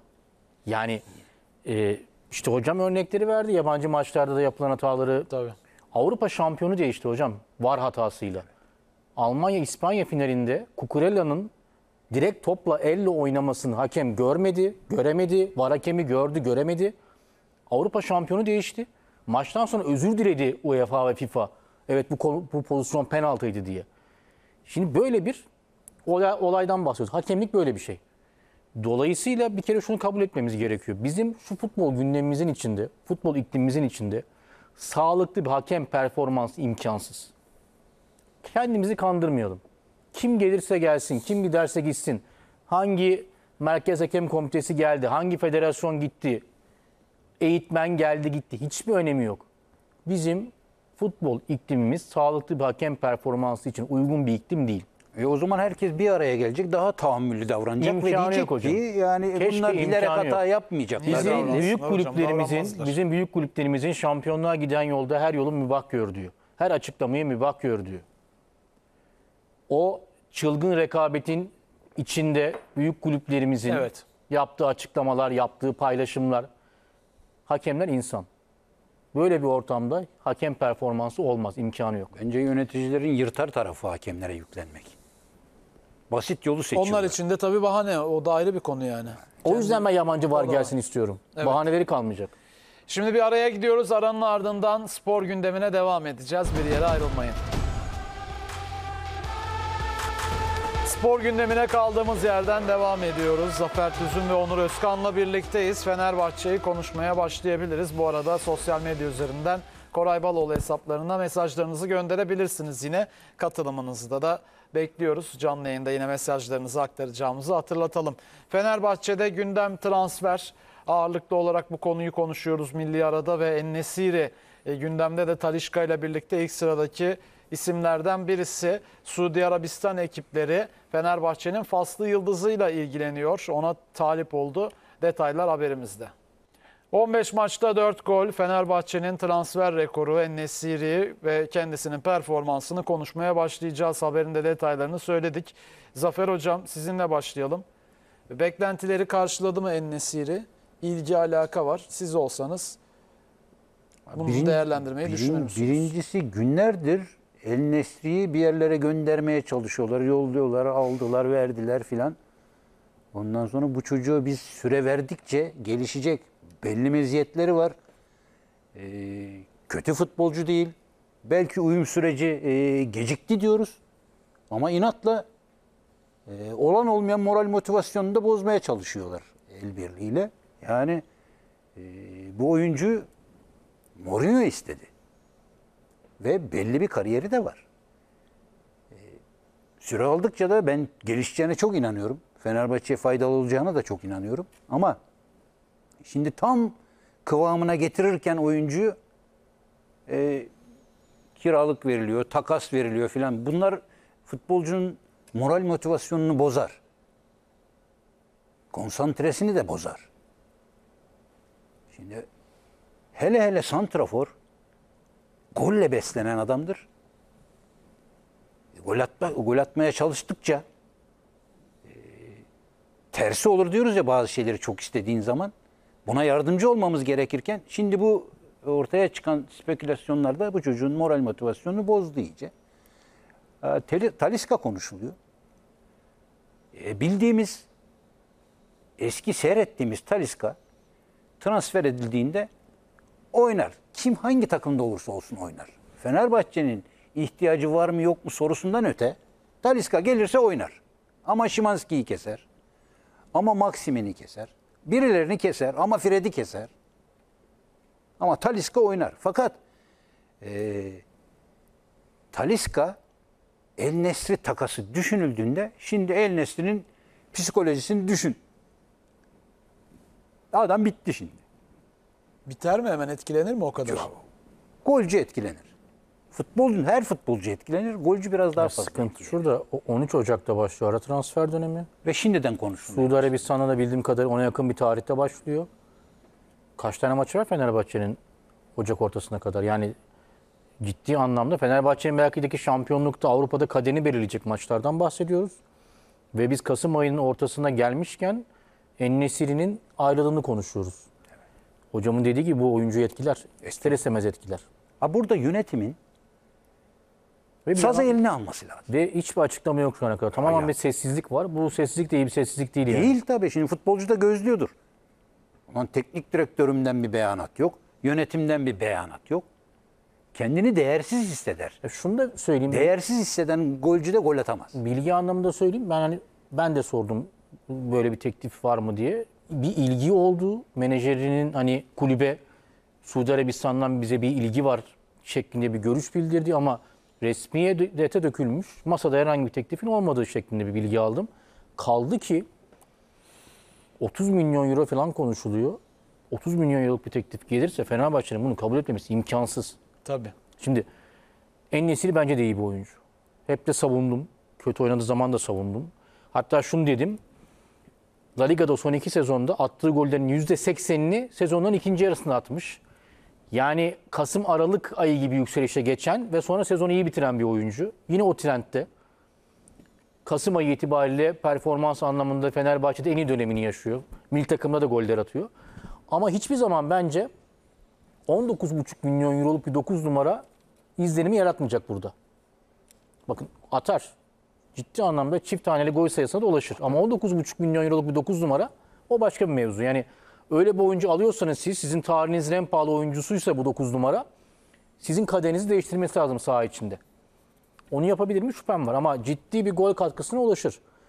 Fenerbahçe 19,5 milyon euro vermiş. Ciddi de bir maaşı var 4 milyon euro civarında. Baktığımız zaman bunu 4 yıla vuralım. Fenerbahçe adına 45 milyon euro civarında, 35-40 milyon euro civarında bir maliyetten bahsedelim, bahsedebiliyoruz. Böyle bir teklif gelirse Fenerbahçe bir dakika bile düşünmez bunu. Hatta başkan Acun Bey falan yanında eşlik eder Suudi Arabistan'a kadar imzayı da beraber attırır. Öyle söyleyeyim. Yani Ama dediğim gibi bilgi anlamında da söyleyeyim. Bir ilgi var, alaka var ama bir teklif şu anda benim aldığım bilgi yok kesinlikle Suudi Arabistan'da. 30 milyon euro. 19 milyon euroya aldı değil mi Fenerbahçe? 19,5 milyon euroyu aldı 19,5. Fenerbahçe. Bonusları vardır yoktur bilemiyoruz. 19,5 Kaç milyon. 6 ayda yani 30 milyon euroya satıldı. 11. 10, 11 11 milyon euro. 11 milyon euro yakın bir ama gelir elde oyuncunun edeceksiniz. kendi maliyeti de var. Maaşından kutluyorsunuz Onu bir de. kattığımız zaman Ya müthiş bir Çok teklif. ciddi bir kar. Çok, bir de hani şöyle söyleyeyim beklenen performansı veren bir oyuncu olsa düşünürsünüz. Dersiniz ki ben nasıl bir en bulacağım bir daha. ya, Osimhen Onurcuğum, başlangıcı yapsa Tabii dersiniz ki ben çok nasıl bulacağım değil mi değil mi? dersiniz. Öyle bir şeyiniz de yok. Yani dolayısıyla imkanı yok böyle bir teklif Fenerbahçe tarafından geri çevrilmesini falan. Mümkün değil yani. ama ben şöyle düşünüyorum. Şimdi bu adam çok fazla süre almadı. Kaç kaç ilk 11'i var? Tabii doğru. E şimdi 14 maçta 5 gol dedik. Hocam Aslında- şu anlamda katılıyorum. Mesela ligin şu anda en fazla net gol pozisyonuna giren 9 numarası Yusuf Ennesiri.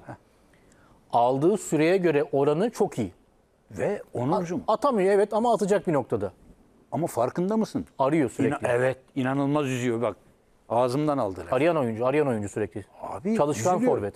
Ya inan ki o adam o arayışta o kadar kendini üzerken o nabız var ya o nabız. Biz şimdi dışarıdan öyle kolay o altı pasın içinden vuramadı. Ya o adam 220 nabızla ölecek orada. Zaten hocam kariyerin hiçbir noktasında çok iyi bir bitirici değildi. Ama e, çok çalışkan, çok arayan ve inatçı bir 9 numara profili. Ben diyorum kalırsa Fenerbahçe ciddi fayda sağlar En-Nesyri. Bence de. Ama 19,5 milyon euro tartışırız sezon boyunca. O ayrı bir mevzu. Yani Taliska ile El Nesri e, takası düşünülecek kadar şey değil. El Nesri de olsun. Abi şampiyonluğu şampiyonluğu düşünüyorsan şu an itibariyle para kazanmayı düşünmeyeceksin. İki yolu var. Ya para kazanma yolunu seçtiysen o zaman taraftara diyeceksin ki biz bu sene olursak oluruz ama şampiyonluğa oynamıyoruz. Çünkü Ferdi'yi de verdin. Bir de hocam Ocak ayında Ferdi'yi de verdin. böyle köklü bir değişim yaşamak 9 numaran gidiyor. Yeni 9 numara gelecek. 10 numara alıyorsun yeni bir tane. İşte sol bek konuşuluyor, orta saha konuşuluyor. O kadar kökten bir değişime Fenerbahçe'nin ihtiyacı var mı ki? Orta sahada mı konuşuluyor? Tabii şimdi Medina transferi konuşulmuyor olsun. Fenerbahçe'de? Ha, Medine ama şey takvimiyle de alakalı ya biraz. Yani Medina ile Boka, Boka'nın e, fikstürü Abi ve sonuç takvimiyle itibariyle alakalı hep konuşulmuyor mu? Fred'in bölgesine Fred'i yedekleyecek bir oyuncu alınmalı mı?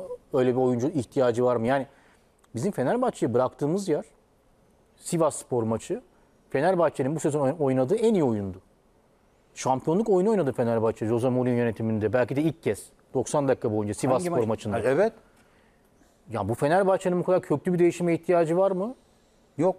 Ama bazı teklifler gelir sizi köklü değişime Tabii zorunlu ki. kılar. Şunu kabul Yani ediyorum. En-Nesyri'ye 30 milyon euro geldiği Ona zaman hiçbir itirazım yok. Ama bir takas program değişir. noktası yani En-Nesyri vereyim, Talişka'yı alayım.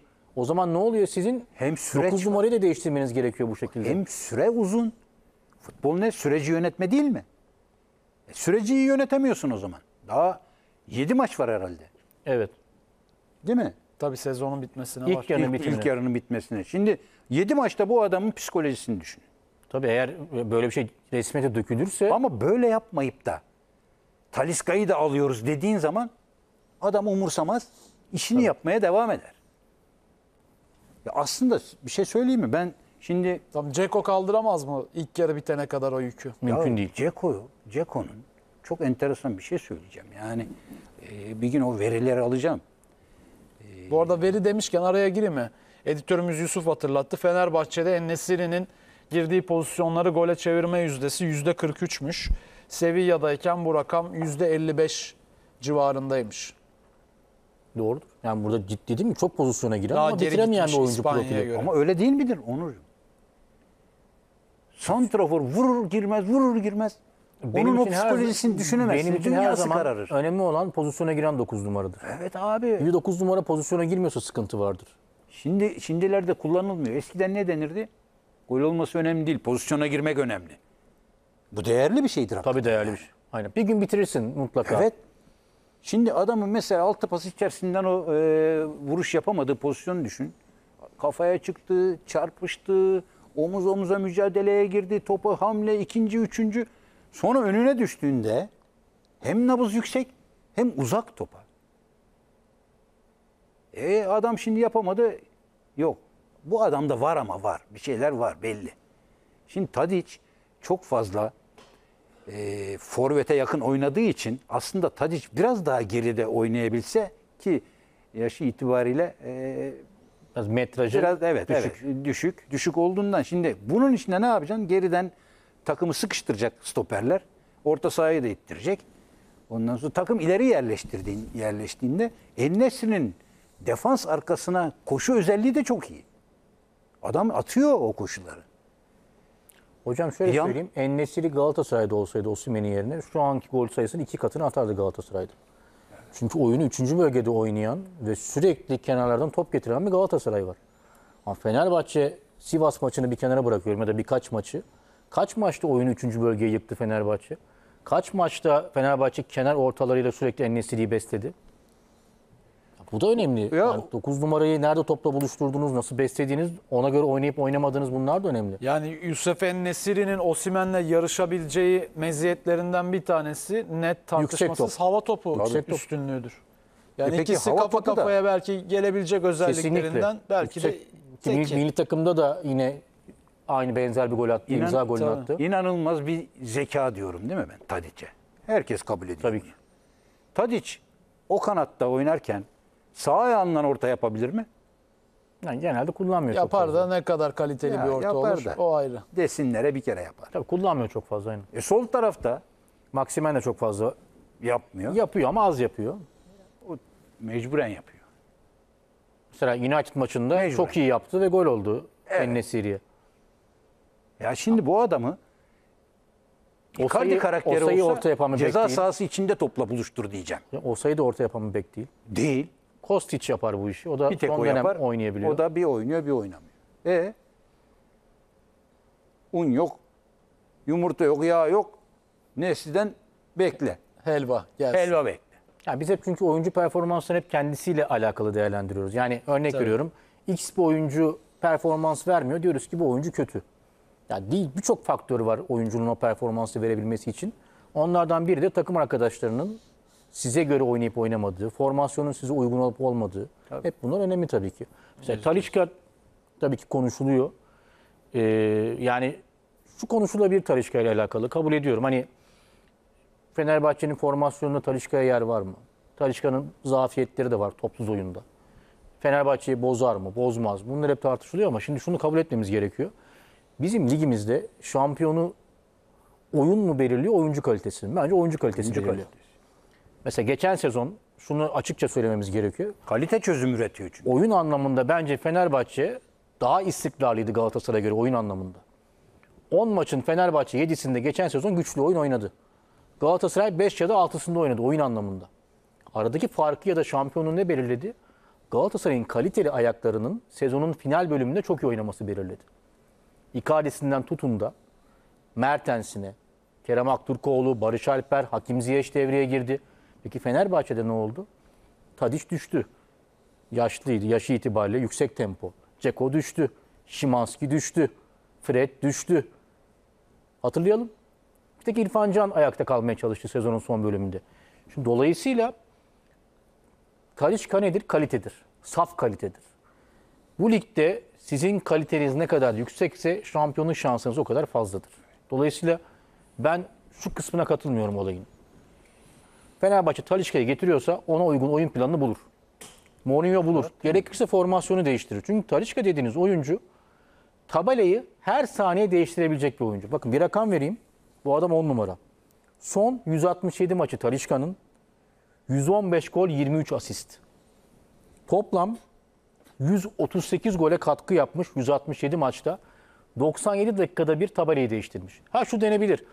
Bu adam bunu Çin'de yaptı, Suudi Arabistan'da yaptı. Ya bizim ligimiz ne ki zaten? Hani bizim ligimizin kalitesini de bilerek konuşmamız Niye gerekiyor. buraya gelince futbolu mu unutacak adam? Talişka buraya gelsin bu katkıyı verir burada. Dolayısıyla dediğim gibi şunu düşünmeden eksileri nedir, formasyonu etkiler mi diye düşünmeden Talişka'yı alabiliyorsa bir takım almalıdır. Böyle bir imkanı varsa. Araya bir şey girebilir mi? Tabii ki hocam. Şu söylediklerin doğrultusunda aslında Fenerbahçe'de problem hoca değil. Problem yönetimin verdiği beyanatlar. Şimdi ne dendi bize? Sezon Adam profil beyanatlar. veriyor. Taliska'yı istemiyor. Efendim bilmem kimi e, Dybala'yı istemiyor. Ya bir teknik adamın Diyorsun. Talişka'yı istememesi Ya diyorsun. Ondan sonra şimdi Taliska'yı almaya kalk. Hocam tabii daha farklı bir profil ama şimdi Galatasaray'ın elinde sezon başında kim vardı? Icardi vardı, Batshuayi vardı değil mi? Şimdi Osimhen ihtimali çıkınca Galatasaray önüne ne dedi Okan Hoca? Gelsin ben formasyonu değiştiririm dedi Osimhen için dedi. Değil mi?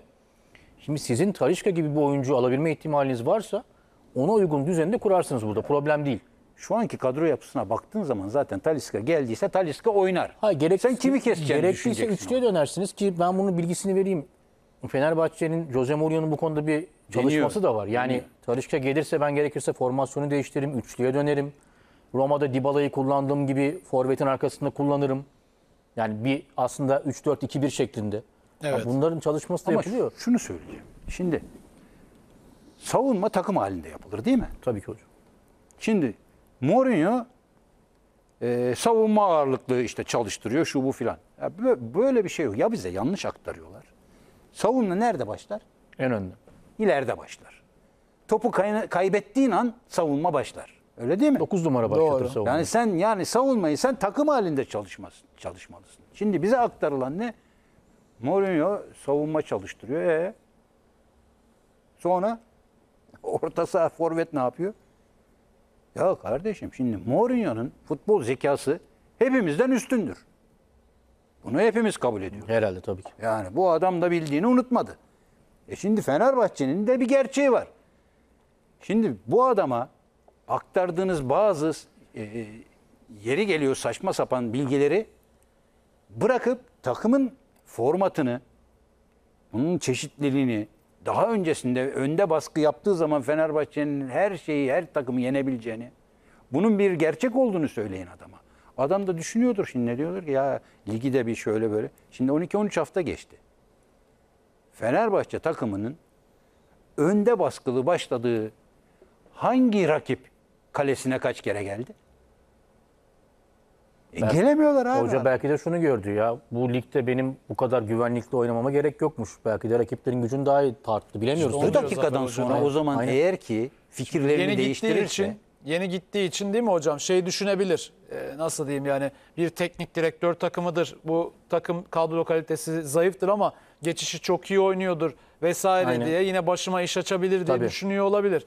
Ama normalde gerçeği ne bu ligde? Bizde teknik direktör takımı diye bir şey yok. Çünkü Yok. 3 hafta kaybeden hoca kovulur. Uzun süreli istikrarlı bir yapı zaten bulamazsın.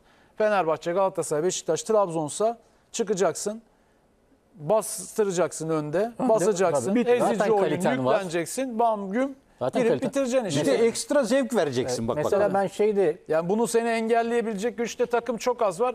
Bir takımı ayırayım hadi. Başakşehir. belki Başakşehir belki kadro Ya- kalitesi ve şeyi olarak seni en çok o bile bence Koraycığım çok bir fazla şey değil. söyleyebilir miyim? en zaten, uzun süre istikrar vesaire orada yine. zaten herkes Fenerbahçe'ye karşı. Şimdi geçtiğimiz senelerde Fenerbahçe neden yetebiliyordu herkese? Önde basıyordu. 15-20 pozisyona giriyordu. Rakibi sürklese ediyordu. Perişan ediyordu, parçalıyordu, galip geliyordu. E sen şimdi böyle takımı aynı formatta oynatmazsan o zaman herkese yetemez hale geliyor Fenerbahçe. Yani ligimizin kalitesini bilmemiz gerekiyor. Kabul edelim kalitesiz bir ligimiz var. Hatta ben şey de kabul etmiyorum. Okan Hoca Okan Buruk Tottenham maçından sonra dedi ya Mourinho'ya mesaj gönderdi aslında. İşte ligimizin kalitesini gösterdik. Hayır ne alakası var? Sen Galatasaray'ın kalitesini gösterdin. Ya ligimiz kaliteli olsa geçen sezon bir takım 99, bir takım 102 puan alabilir miydi? İmkanı var mı böyle bir şeyin? O zaman Mourinho'nun söylediğine geliyorsun sen de bir anda. Ben Mourinho'nun söylediklerine hiçbir yanlışlık görmüyorum ki. Mourinho hepimizin söylediği bir şeyi söyledi. Farklı bir konumda söyledi. Yani burada Zafer Hoca da bunu söylüyor. Sen de söylüyorsun. Ben de söylüyorum. Futbol severler söylüyor. Ligimiz kaliteli değil, yurt dışından izlenmiyor. Biz bunları anlatmadık mı? Konuşmuyor muyuz? Herkes bunu ifade etmiyor mu? Jose Mourinho konuşunca aa öyle değil diye savunma mekanizması devreye giriyor.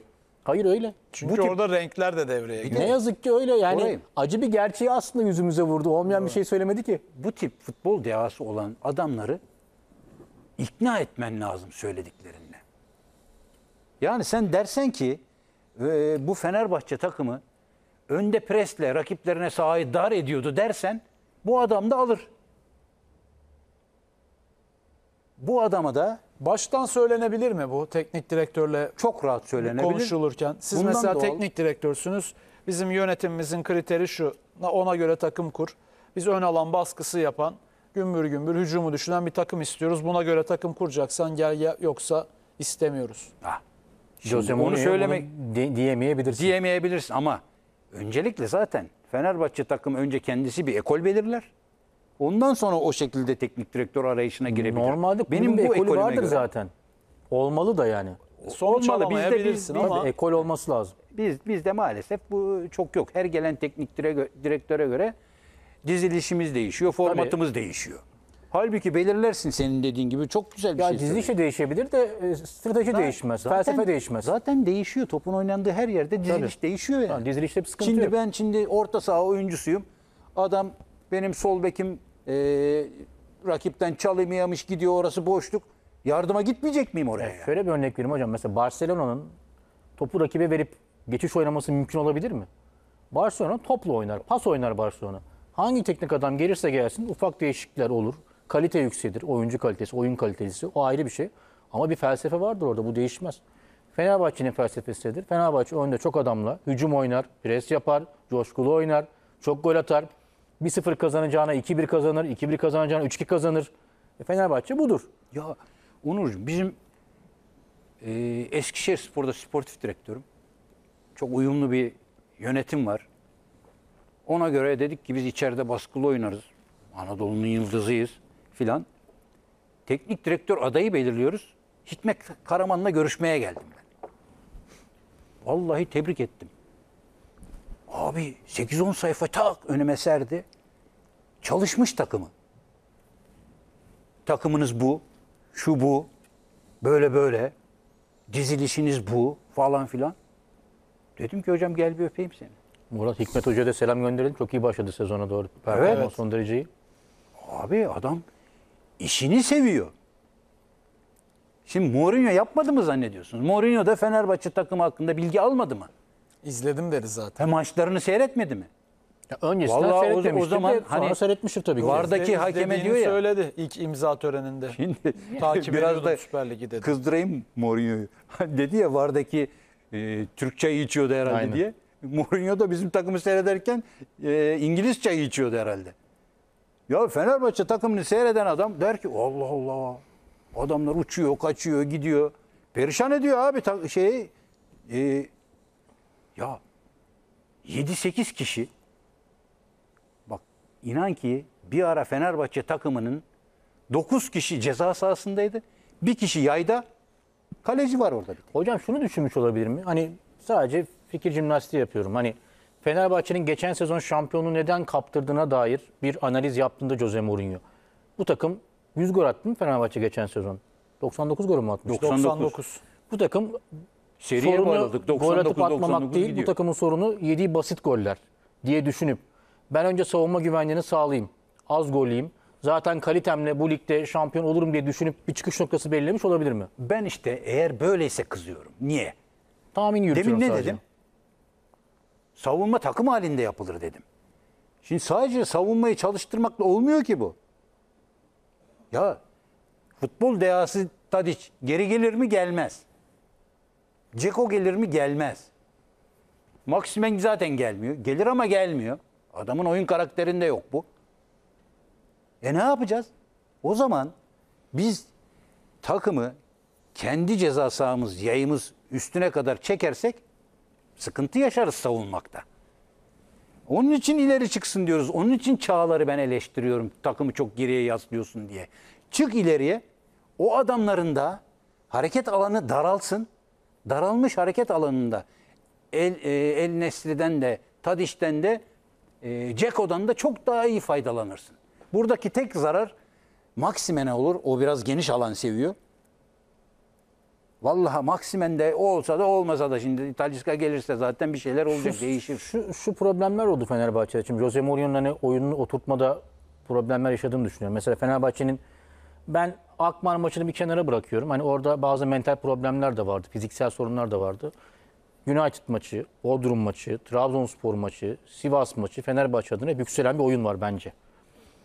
Şu problem olmuş olabilir sezon başından beri. Bir, Ennesiri'nin takıma geç adaptasyonu. Çünkü Ennesiri önde savunmayı başlatan bir 9 numara. Ceko böyle bir oyuncu değil. Amrabat'ın takıma geç adaptasyonu yine orta alanın merkezinde o güçlü oyunu. Artı savunma oyuncularının Jose Mourinho'nun istediği oyunu tam oynayamaması. Hep şikayet ediyor ya Mourinho. Geri kaçarak oynuyorlar. Ya Fenerbahçe takım boyu uzundu sezon başında. Evet, çok uzun. Ama şu an baktığımız zaman Fenerbahçe'nin takım boyu yavaş yavaş yavaş yavaş Jose Mourinho'nun istediği düzeye gelmeye başladı sanki. Yani önde daha iyi basan, savunmayı daha iyi öne çıkartan, merkezde dışarıdan birisi konuştu, hocayı ikna etsin falan. Böyle bir şey mümkün değil bence. Yani anlatamazsınız diye düşünüyorum. Anlata- bunun kariyerine mi anlatamıyorsun? Yani hoca böyle bir insan. Yani Oyun anlayışı olarak mı diyorsun? kapalı evet dışarıdaki o Şimdi görüşlere kapalı bir isim. Şöyle Oyun az önce bir şey söyledim. Bu- Fikrini değiştirmiş midir diye. Şimdi siz konuşurken bir yandan baktım. Yanılmamak adına da çok çarpıcı iki tane rakam söyleyeceğim. E, lütfen izleyenler de dikkatli dinlesin. Şimdi Jose Mourinho'yum ben. Fenerbahçe'yi izledim, ettim. Dedim ki ya şu puan tablosunu verin. Son iki sezon Galatasaray şampiyon. Evet. Bir puan tablosuna bakayım. Geçen sezonun puan tablosunu açıyorum. Lider Galatasaray, ikinci Fenerbahçe. Göreve geleceğim takım. Galatasaray 92 gol atmış. 26 gol yemiş Evet. geçen sene. Görevine geleceğim takımın şeyine bakıyorum Fenerbahçe'ye. 99 gol atmışım. Şampiyondan 7 gol daha fazla. Evet. Ama 31 gol yemişim. Daha fazla gol yemişim. bir beş önceki sezona da bakayım diyorum mesela. Onun puan durumunu açıyorsun. Galatasaray yine şampiyon. 83 gol atmış. 27 tane gol yemiş. Yine aynı şekilde Fenerbahçe'ye bakıyor Mourinho diyelim. 87 gol atmışım. Yine şampiyon olan takımdan 4 Daha gol daha fazla. fazla. Ama 42 gol yemişim. O zaman reçetemi ben şöyle yazmaz mıyım? Ya ben iki sezonda siz zaten bu adamlardan fazla gol atmışsınız ama yediğiniz goller yüzünden şampiyonluğu vermişsiniz deyip sil baştan ona göre plan yapmış Az önce olma ihtimali benim- ne kadar benim dediğim nokta somut. işte yani böyle beyin jimnastiği yaptığımız zaman böyle bir çıkış noktası olabilir. Belki de Fenerbahçe yönetiminde böyle bir çıkış noktası vardı. Hani Jose Mourinho istenirken şu düşünülmüş de olabilir. Ya biz savunma yapamıyoruz. Yani daha doğrusu takım savunması problemli bizde. Bunu en iyi kim yapar? Jose Mourinho yapar da denilmiş olabilir. Bilemiyorum tabii ki. Seçim dönemine denk gelmesinin zafiyeti Tabii olabilir. ki tabii ya. ki o ayrı bir mevzu. Yani o tabii yani ben sadece böyle bir tahminde bulundum ama, Ya Onurcuğum Ve hocam özür diliyorum şeyde de öyle. Trabzon'un şampiyon olduğu sezonda Fenerbahçe'nin attığı gol sayısı Gene fazla. Trabzonspor'dan fazla. Yediği gol 2 daha az. mesela Şey, şunu- iki, tamam. iki- yediği gol yine Mesela fazla. şunu söyleyelim. Yani puan tablosuna baktığımız zaman Fenerbahçe'nin yediği gol 9, Galatasaray'ın 11 şu anda. Yani şu deniyor olabilir. Arada çok büyük fark yok. Hayır. Fenerbahçe'nin takım savunması şu anda Galatasaray'ın çok önünde. Yani Jose Mourinho evet eleştiriyoruz. İşin hücum kısmında, toplu oynama kısmında, baskı kısmında evet Fenerbahçe'ye birçok zaman uygun olmayan bir oyun oynattığını ama işin savunma kısmında Fenerbahçe birçok noktayı doğru bir şekilde oturtmaya başlamış durumda. Ligde Fenerbahçe şu anda rakiplerine en az şut şansı veren, en az gol beklentisi gören en kalesinde, az gol yiyen. en az gol yiyen artı en az gol pozisyonu gören kalesinde takım Fenerbahçe. 7 maçta gol yemedi Fenerbahçe bu sezon. 11 maçın 7'sinde Ve bu 7 maçta rakipler 8 tane isabetli şut çekebildi. İşin savunma kısmında birçok noktayı artık doğru yapan bir Fenerbahçe var. Hatta işin enteresan kısmı savunma ikilisi de sürekli değişen bir Fenerbahçe bunu başardı. Evet. 5 kez farklı savunma bunu- oynamış. Ben bunu zafiyet olarak görmüyorum. Çünkü takım halinde çalıştırıyorsun. Bu Hayır, yani bu başı hep- çalışmak değil Şu mi? denir abi? ya hocam hani savunma ikilisi değişmemeli. Ben de bunu söyledim. Hani bu bir sıkıntı yaratabilir ama Fenerbahçe'de bu problem yaratmamış gibi gözüküyor sanki. Ya, Onurcuğum bir şey daha söyleyeceğim. O kadar güzel yere geldin ki şimdi. Evet. Stoper tandemi devamlı değişiyor ama çok önemsemiyorum ben bunu. Çünkü hepsine belli bir Bir görevleri, de çok arada bence ayak oyuncular arasında kalite anlamında. Yakın oyuncular birbirine. Evet ki o görevleri veriyor şey e, teknik direktör. Şimdi teknik direktör olarak savunma zafiyetini kriter alıyorsun. İlerideki kaç senedir rakiplerinden fazla gol atan takım takımın forvetinin kriterini niye ele almıyorsun? Ben de diyorum ki takım bütündür, bütündür. Tabii ki. Savunma da takım halinde yapılıyor. Hücumda. Hücum da. Organizasyon iş. Ve Mourinho görmüyor mu? Elindeki eee, çok zeki bir oyuncu Tadic'i ve onun kapasitesini. Ceko'nun ve onun kapasitesini. Maksimi'nin gelmediğini ki kendisi de eleştirdi.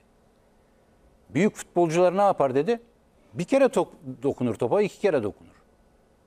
10 kere 20 kere dokunmaz dedi. Bu yüzden işte Şimanski'nin rolü çok değişti Fenerbahçe'de. Bu öndeki oyuncuların zafiyeti yüzünden zaten. Evet. Şimanski bildiğin 6 numara gibi oynuyor Fenerbahçe'de artık mecburiyetten. Yeri geliyor 6 oluyor, yeri geliyor 8 oluyor. Yani 10 numara ol- olmaya gücü kalmıyor yazık çocuğun. biz rakamlara bakıyoruz Şimanski'nin evet performans düştü diyoruz ama e, Şimanski'nin rolü çok büyük Fenerbahçe'nin oyununda diye düşünüyorum ben. Ciddi işler yapıyor. Yani görünmez kahramanlardan bir tanesi olabilir Şimanski. Çok Boşu oyuncunun zafiyetini övmüyor zaten. kapatıyor. Yani o pozisyon için çok fazla efor sarf ediyor bir de. Şimdi mesajlarınızı yollayabilirsiniz. Canlı yayında okuyacağımızı söylemiştik. Fırat Altun Kaynak Instagram'dan yazmış izleyenimiz. Galatasaray'ın gündeminde kimler var? Kaç transfer yapılacak? Mevkiler neler demiş. Birazdan Galatasaray'ı konuşacağız. Ee, onu ifade edeyim. Ama şeyi sorayım. Talişka ile Galatasaray ilgileniyor mu? Hiç kulağına Yok, gelen bir şey hayır. var mı? Yani şöyle bir şey var. Zaten Galatasaray'ın şu anda yabancı sayısı 14. Bir kanat oyuncusu alınacak. Galatasaray'ın Göndermeden alamıyor yani. göndermeden alamıyor. Hakim Ziyech ve Yusuf Demir'in ayrılık ihtimali var sadece oyuncular içinde. Galatasaray bir yabancı gönderirse kanat oyuncusu alacak. İkinci yabancıyı gönderirse bence bir on numara değil. Ya orta sahaya ya da savunmaya bir takviye yapılması planlanıyor. Hakim Ziyech kısmını tabii konuşuruz ama şu an için Talişka için Yok devrede olup Galatasaray'ın olmadığını- gündeminde bir 10 numara transferi ya da Anderson Talişka yok. Zaten o bölgenin oyuncusu Mertens çok da iyi oynuyor son dönemde özellikle. Birazdan Galatasaray bölümüne geçtiğimizde detaylı yine konuşacağız. Çok o yüzden konuyu e, sürdürmüyorum ama mesajlarınızı yine yazabilirsiniz. Merak ettikleriniz e, varsa onu da söyleyelim. E, hocam şimdi Fenerbahçe'de tabii savunmanın oturtulduğunu söyledik. Ama kanat bölgesinde de bir muamma var. Yani siz memnun musunuz mesela bir e, Fenerbahçeli olarak kanatlardaki oyundan, oyunculardan? Maksimen özellikle çok konuşuluyor. Türkiye Ligi için hakikaten geçerli bir profili var. Topla rakip üstüne gidiyor. Rakip denge- dengesini bozuyor. Evet çok geçerli. Ama amacı onun ben gideyim şuradan da kaldırayım keseyim topu yok. Gideyim içeri gireyim vurayım yok. Bir amaç belirlemeli kendine. Yoksa biz ne diyoruz o sayıyı? Ne dedik geçen sene Ferdi? Bunlar takım takımı öne taşıyan profillerdi. Ve gerekli. Sonlandırmasalar da. Takımı en azından e, ileri taşıyordu. Taraftara da coşku veriyordu onlar tırırırt gittiği zaman sağdan soldan. Şimdi Maksimen gidince de öyle. Ama sonu hayal kırıklığı olunca olmuyor. O karakterde bir oyuncu biraz zeki olsa şu anda 10 golün üstünde olması lazım. Son kararlarda sıkıntısı var. Hep yazın bunu konuştuk. Ya Evet. dribling konusunda uluslararası standartlarda çalım yeteneği muazzam, çok başarılı ama çok doğaçlama oynuyor ve şeyi de yani bilmiyorum buna katılır mısınız? Ya kendisi de nerede bitireceğini ne olacağını o da bilmiyor. O anda karar veriyor. Değil mi yani o saniyeler için saniyede karar veriyor. Yani Kerem de öyle. işte şunu çalımladıktan sonra içeri çevireyim gibi böyle bir görüp hareket değil de çalımladıktan Ne sonra olacağını bakalım diyor. da o zaman bakarız. Biri gelirse Aynen. bakarız. Yine devam Diyorum, ediyor. Hürriyetin bulmacası gibi.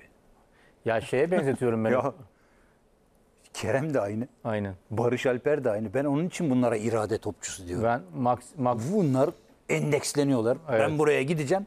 Gücüyle, kuvvetiyle, arzusuyla gidiyor. Gidiyor da o- orada ne yapacağını kendi de biliyor. Tabii ben Maksimen'i şeye benzetiyorum. Tiyatrolarda bazı oyuncular vardı. Böyle tekste uymaz bir hemen doğaçlama bir şey çıkartır aradan. Seyircinin hoşuna gider bu çoğu zaman. Anlamaz da aslında onun doğaçlama olduğunu ama içerideki oyuncular pek hoşlanmaz bu işten. Şimdi Ya dediğin doğru doğaçlama kelimesi çok doğru bir kelime Maksimen'le ilgili ama oyuncuyu değerlendirirken bizim ligimiz için değerlendirmemiz gerekiyor. Yani oyuncunun birçok zafiyeti evet Premier Lig için sıkıntı, Serie A için sıkıntı, Bundesliga için sıkıntı olabilir ama bizim ligimizde böyle profiller hep etkili olmuştur. Sen Maximen'den kalite olarak çok daha düşük bir oyuncu. Geri Rodriguez Galatasaray'ı şampiyon yapan iki oyuncudan bir tanesiydi Gomis'le beraber. Sonra Geri Rodriguez ne yaptı? Gitti Körfez'e, Fener'e geldi. Yok değil mi öyle bir oyuncu? Şu anda da en son ligimizde Ankara, Ankara gücünde gücünde oynadı, oynadı. sonra. Sonra, şu anda da yine Süper Lig'de. ama Onurcuğum Takımını Geri, unuttum. Geri Rodriguez de Sivas'ta. Sivas'ta. çizgide kalıp içeriye doğru o tehlike hunusunun içine koşular atıyordu. Maksimen öyle değil. O hep topla gitmek. Ama şunu demek istiyorum. Yani Maximen profilindeki o birebir de e, hep adam geçen, fark yaratan oyuncular bizim ligimizde her zaman skora etki eder. Ya Maximen belki istikrarlı bir şekilde bunu yapamayacak. Çözüm Ama- var aslında Maksimen. Ama Sivas maçındaki oyununu Fenerbahçe adına 5-6 maçta sergilese, 5-6 maç çözse ki Kasımpaşa maçını tek başına çözdü deplasmandaki. Bir kazançtır. Yani Ya yapar. Zaman zaman bunları yapacak da. Ama oyuncu bu Belki yani. kariyerinin en fazla golünü de burada O- atacak. bence de Ama- hatta geçen bunun haberini yaptık hocam. Ee, dakika bazında en iyi dönemini skor üretme anlamında şu anda Fenerbahçe'de geçiriyor kariyerinin. Nice sonrası Fenerbahçe Nice'deki rekorunu kırdı. Daha da geliştirecek ama oyuncu bu. Yani bizim ligimiz için evet. İdeal E, bir oyuncu onun bence. için e, bulunmaz bir nimet ama çözüm ne bence biliyor musun Onurcuğum? At, at gözlüğünü çıkaracaksın. onu. Hocam mümkün değil. Yani şunu demek istiyorum. Maksimeni değiştirmek falan Adam at filan gözlüğünü imkansız. takmış gidiyor. Yani ya oyuncuyu bu şekilde kabul edip kullanacaksın ya da kullanmayacaksın. Hani Maksimen kendini geliştirsin, değiştirsin. Ya bu imkansız artık. Tabii tabii. Oyuncu bu yaşına gelmiş. 27-28 yaşında değil mi sen Maksimen? Değiştirirse Newcastle'da değiştirir. İmkanı yok. Çok çok üst düzey bir yetenek. Birebir de belki de Avrupa'nın sayılı oyuncularından bir tanesi. Ama eksikleri de belli oyuncu. Zaten eksikleri belli olduğu için şu anda burada bu oyuncu. Bunu da kabul etmemiz gerekiyor. Ya son zamanlardaki e, Fenerbahçe adına e, taraftarların memnuniyetinin sebebi de zaten e, yüzde yüz olmasa da ön alanda yaptığı baskı. Mesela şunu çok iyi yapıyor Ondan Fenerbahçe. Tadic orada oyunu sağa yıkıyor Fenerbahçe. Tadic o sayı. Orada rakibi biraz oyalıyor. Takımın rakip takımın savunması kendi soluna doğru kayarken bir ters top Maksimen birebir kalıyor. Ve orada birebir de iş çözüyor. Mesela Fenerbahçe'nin hücum planlarından bir tanesi bu ve iyi işleyen bir plan bence bu. Tabii boş alan Mantıksız bırakıyor bir ona. plan değil. Değil kesinlikle. Şenol ama- Hoca Quaresma'ya yaptırdı çok onu. Evet. Özellikle maçlarda bakardım. Biraz böyle içeri doğru gitmeye çalıştığında bağırırdı. Böyle böyle Kenara derdi, çizgiye ayağını bastırdı. Çizgiye bastırırdı. Beşiktaş bir anda yön değiştirdi. Zaten Allah savunma oyuncusunun yardımcısı olsun birebir kaldıktan Birebir sonra yani kaldığı yapacak zaman- bir şey yok. Yani geçemeyeceği herhangi bir bek yok zaten bizim ligimizde. Ya derbide Kaan Ayhan'a yaşattıklarını hatırlayalım. Tabii. Yani Kaan Ayhan'ın kariyerine kaç tane maç vardır öyle? Çok o planı çok aşırı başarılı uygulayamadılar ama Son paslar, son vuruşlar belki çok yeterli değildi. Belki o, o orada Fenerbahçe iyi kararlar verse belki maç maç başka bir yere de gidebilirdi. İşte onun bu yeteneklerini takım oyununa evirmek lazım birazcık. Çok kolay iş değil hocam işte onu demek istiyorum. Uğraşacak. Bu oyuncu bu hocam Her yani. gün her gün alışkanlık haline getirtmeye çalışacaksın. Başka yapacak bir şey yok yani. Çünkü alışkanlık haline getirmezse adamın belli bir oyun felsefesi var. Kafayı eğiyor, gidiyor, içeri de giriyor, dışarıda çıkıyor. Çözümsüz bir oyuncu. Şu Ama da, şu da mesela bence çözümdür. Hani bazı maçlar için söylüyorum. İkinci yarılarda mesela Samsun deplasmanında oyunun ikinci yarısına girdi. Rakip de yorulmuştu. inanılmaz etkili oldu. Hani bazen sen Maksimen'i bazı maçlarda bir hamle oyuncusu gibi kulübede oturtup ikinci yarıda oyun almak da çok büyük çözüm üretebilir Fenerbahçe adına. Hani Mourinho belki de Talişka geldikten sonra gelirse eğer Yani daha fazla belki böyle de kullanabilir Maksimini bilemiyorum. O da bir çözümdür yani. Dušan Tadić'e de Arabistan'dan teklifler olduğu yönünde Evet doğru. haber var. Bugün sizin de de vardı takvim gazetesinde Doğru. de herhalde. Onunla ilgili elinde bilgi var mı? Evet yani biz hep şey konuşuyorduk yani işte Al Nassr'ın sportif direktörü geldi buraya. Sen işte En-Nesyri istiyor. Tadić benim, için mi Benim aldığım bilgi Tadic ile ilgileniyorlar asıl olarak. Ya e, Ama Tadic kesinlikle şu anda Körfez'e gitmeyi düşünmüyor. Hatta şey demiş ben demiş gitsem Körfez'e yani gitmek istesem ayak sonrası teklifler vardı. Çok daha yüksek rakamlar geldi önüme gitmedim. E, orada oynamak istemiyorum demiş Tadic. Ki orada oynayan Mitrovic var değil mi? Tabii Alexander Mil-. Milinkovic Savic var. Yine Doğru, Sergey Körfez'de oynayan Milinkovic Savic var. milli takımın en iyi oyuncuları oraya tercih etti. Ama şu Onlar anda erken yaşta gitti. evet. Değil mi? Demek ki emekli ikramiyesi almaya hazır değil daha. Ben oynarım diyor demek. oyuncu şu anda Körfez'i Ve düşünmüyor. iyi de performansı şu anda. Yani çok İyi Fenerbahçe'nin mi? Hocam çok iyi daha ne olsun yani. her şeyi şu anda. Çok iyi oynuyor. Tadic'in sezon sonunda sözleşmesi bitecek. Tamamlanacak sözleşme. Şimdi onunla ilgili de Ben- çeşitli spekülasyonlar, iddialar var tabii ama yani teyit etmediğim için her spekülasyonu, iddiayı burada dile getirmek de istemiyorum. Farklı kulüplerin de Türkiye'den devreye girebileceği yönünde. Ee, Tadic de Fenerbahçe nikah tazeler mi sizce hocam? Bence yüzde yüz tazelemeli. Niye? Ee, yaş yaş ilerlemiş diye bir şey yok. Performansa bakıyor bu iş. Kesinlikle. Yani onun için 35 yaşında, ne 88 olursa doğumlu. olsun, Şu anki görünen performansıyla Fenerbahçe takımının lokomotifi. Hocam ben geçen sezon Mertens için bu ifadeyi kullanmıştım. O dönemde işte Mertens kalsın mı gitsin mi tartışmaları vardı. Demiştim ki Mertens bir dakika bile oynasa, kulübede bile otursa, tribüne çıksa bu takımın içinde olmalı demiştim. Tadic için de aynı ifadeyi kullanıyorum. Tadic Fenerbahçe takımının içinde olmalı. İyi performans veriyor. Onu geçtim çok iyi bir soyunma odası oyuncusu. Çok iyi bir tesis oyuncusu. İnanılmaz. Yani inanılmaz. kulübede oturur 5 dakika girer. Tribünde oturur hiç fark etmez. Tadic bence uygun bir maliyetle de 1 artı 1 yıllık mutlaka imza atmalı. o profesyonelliğe sahip bravo. Oynasa da oynamasa da Hiç sıkıntı çıkartmaz. evet. Lider vasıflı Geçen haberini yaptık hocam. 75 maçın 74'ünde oynamış Tadic ya. Ne demek böyle bir şey olabilir mi? Dünya üzerinde böyle bir istatistik kaç futbolcuda var? Tadic ile Mertens arasında bir yaş fark var. Mertens bir yaş daha büyük. Ee, Bu tarz yaş, oyuncularda yaş hocam sözleşme 87'li Mertens, 88'li Tadic. Şimdi Mertens biraz daha fazla üzüyor kendini Tadic'e nazaran. Daha Çünkü fazla efor, savunma- evet. eforlu oynuyor Mertens. Tabii. Bir O daha- takımın da gerek istediği bir şey belki oyun planıyla alakalı. Savunmayı Galatasaray'da önde başlatan Mertens. Bu tarz oyuncularda şöyle bir bence şey oluyor hocam. Zorluk sözleşme noktasında. Şimdi ikinizin de fikrini merak ediyorum o yüzden. Tadic'in sözleşmesi bitiyor. Geldi. Kaç yıllık kontrat teklif edersiniz? Ya o 35, 35 yaşında. yaşında şu anda değil mi? 1 artı 1 idealdir değil mi hocam? Yani. Bir artı bir olur ama futbolcu bunu şimdi adam lider vasıflı icraatları yapıyor şu son dönemde Fenerbahçe'de. Artısını kaldırıp iki senelik sözleşmeyi imzalarım. İmzalanır mı? İmzalanır abi. Yani Çünkü adam- genelde sıkıntının çıktığı nokta bu değerli izleyenler. Biliyorsun yani oyuncu fazla ister doğal olarak 2 yıllık, 3 yıllık sözleşmeyi Tabii ister. ister. Kulüp de doğal olarak yaşı ilerlediği için Kendini garanti altına bir almak yıllık için daha bir, yıl, bir, bir artı yıl, 1 bir yıllık artı bir olabilir. yapmak istiyor. Genelde sıkıntı biraz buradan çıkıyor. Ya bir yıl Şu anki- yaparsın, performansa bağlı bir opsiyon koyarsın. şu anki performansla bu adamla ama bir yıl, ama bir artı bir, ama iki yıl sözleşme imzalanır. Ha şunu Ama belirtelim. 2 Dzeko- yılda net imzalanır. Mesela. Ceko ile Fenerbahçe'ye devam etmeyi düşünmüyor kesinlikle yönetim. Onun da sözleşmesi bitiyor Edin Dzeko'nun da. Ama Tadic ile ilgili bir düşünce plan var devam etme konusunda. Tabii arada 2 yaş, 3 yaş, 2 yaş mı ya da 3 yaş fark var arada. Seneye 41 mi oluyor? Yok şu an 39 yaşında. 40. 3, 3 yaş fark var arada. Dolayısıyla yani şey yönetim Ceko'yu düşünmüyor ama Tadic de mutlaka devam etmeyi düşünüyorlar. Ama uygun maliyetle tabii ki. Ha, Ceko kötü Dzeko olduğundan değil. 2 yaş daha büyük. 86'lıymış 2 yaş var. 86.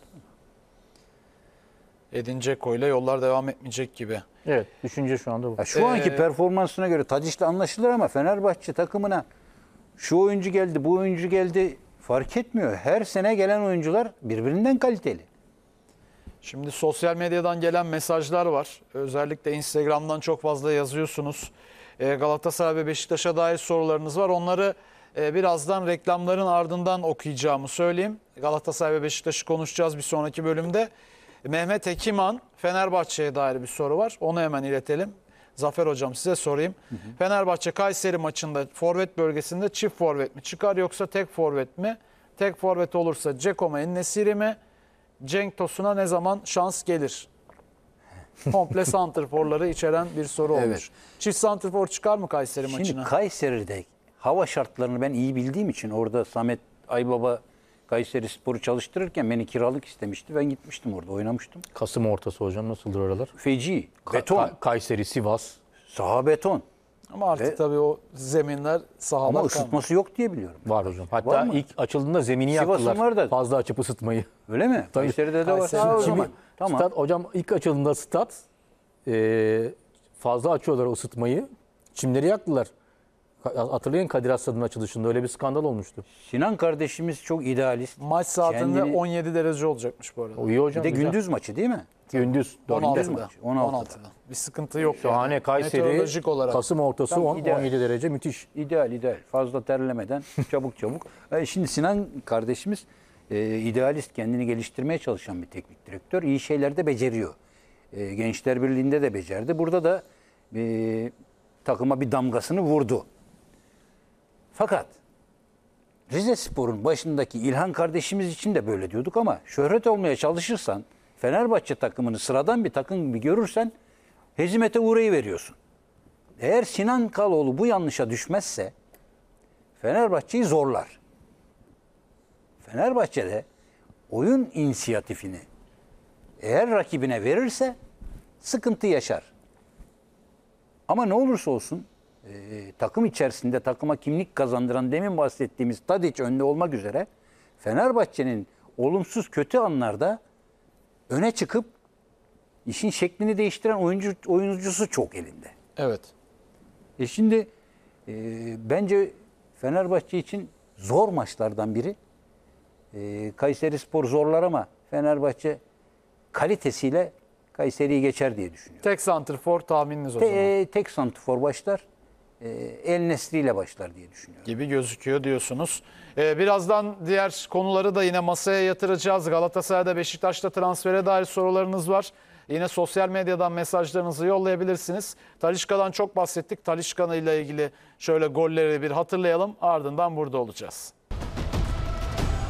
Spor gündemine devam ediyoruz. Zafer Tüzün ve Onur Özkan'la birlikteyiz. Ben Koray Baloğlu. Son saat diliminin içerisindeyiz. Hızlıca e, tabii gündemdeki tüm maddeleri konuşacağız. Biraz gaza basacağımızı söyleyelim bu saat diliminde. Galatasaray'da yönetici İbrahim Hatipoğlu transfer durumu merak edilen Osimen'le ilgili açıklamalarda bulundu. Yeni şimdi o açıklamaları takip edelim. Ardından konuşmaya başlayalım. Hatipoğlu Osimen'e dair e, detaylı bir şekilde açıklamasını yaptı. Onur Özkan'la birlikte bu konuyu konuşacağız tabii. Yani iş burada bir madde var mı? Evet var. Bu Galatasaray'ın ileride e, başını ağrıtabilir mi?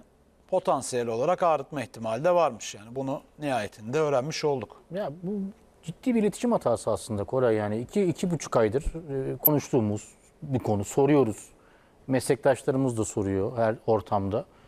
Çünkü daha Osimen imza atmadan biliyorsun bu dedikodular ortaya çıkmıştı. Ocak'ta çıkış maddesi var. Önce işte 8-9 kulüple ilgili bir madde konduğu söylendi. Sonra hayır dendi ki belirli bir ücret karşılığında bir çıkış maddesi var. Sonra dendi ki hayır hiç böyle bir madde yok. Derken ki İbrahim Bey'e de daha önce soruldu. Ocak ayında öyle bir madde ayrılık kesinlikle böyle bir şey yok demişken Okan Hoca'nın yaptığı açıklamada kafaları karıştırdı tabii ki. Sonra ben yine yönetim tarafına sordurduğumda soruyu şöyle dendi. Okan Hoca'nın bahsettiği madde Napoli ile oyuncu arasındaki madde 75 milyon euroluk çıkış maddesinden bahsediyor. Bizle yapılan anlaşmada herhangi bir madde yok ifadesini kullanıyor yönetimde. Ya bugün geldiğimiz noktada hala bence muallakta bu konu. Çünkü Okan Hoca orada aslında baktığımız zaman sanki Galatasaray ile Osimhen arasında yapılan anlaşmada bir madde olduğundan bahsediyordu. Galatasaray yönetimi ısrarla böyle bir madde olmadığını ifade ediyor. İyi Şimdi niyetli söylenen safiyane şu. bir e, röportaja gitti ama e, polemik konusu oldu sonradan yani. Ya burada dediğim gibi bir iletişim varsa vardır böyle bir madde ya. Bunu gizlemenin bir anlamı yok. Bu konuda bilgilendirme yapılabilir rahatlıkla. Şimdi bir i- iki, karşıt görüşler de var. Bir ikilem var orada. İşte Ya bu e, gibi hocam iletişim basit bir şey yani. Kamuoyundan gizlenmesi bunun futbol dünyasından gizlendiği anlamına gelmiyor. Yani Tabii bunu an- kulüpler artık lütfen anlasın. Bu şekilde ortaya Zaten. Osimhen'i alacak adam gelip gazetecilerin yaptığı habere göre Aa, bunun maddesi varmış demiyor. Osimhen'in menajerine ulaşıyor.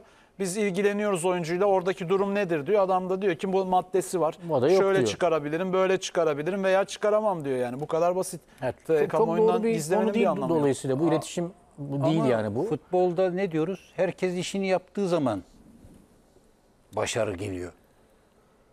E, Okan da bu yönetimsel bir iş yani. Keşke oralara girmeseydi. Şu var hocam. e, Sor olunca cevap veriyorsun. O konu- Yani o konuda- orada işte safiyane ce- cevap verdi. Okan Hoca'nı şu, şu kısımdan mesela tebrik ediyorum. İletişim çok güzel. Sürekli çıkıyor televizyonlara, dijital medyaya, röportaj veriyor ama işte çok fazla bunu yaptığınız zaman bir şekilde ne oluyor?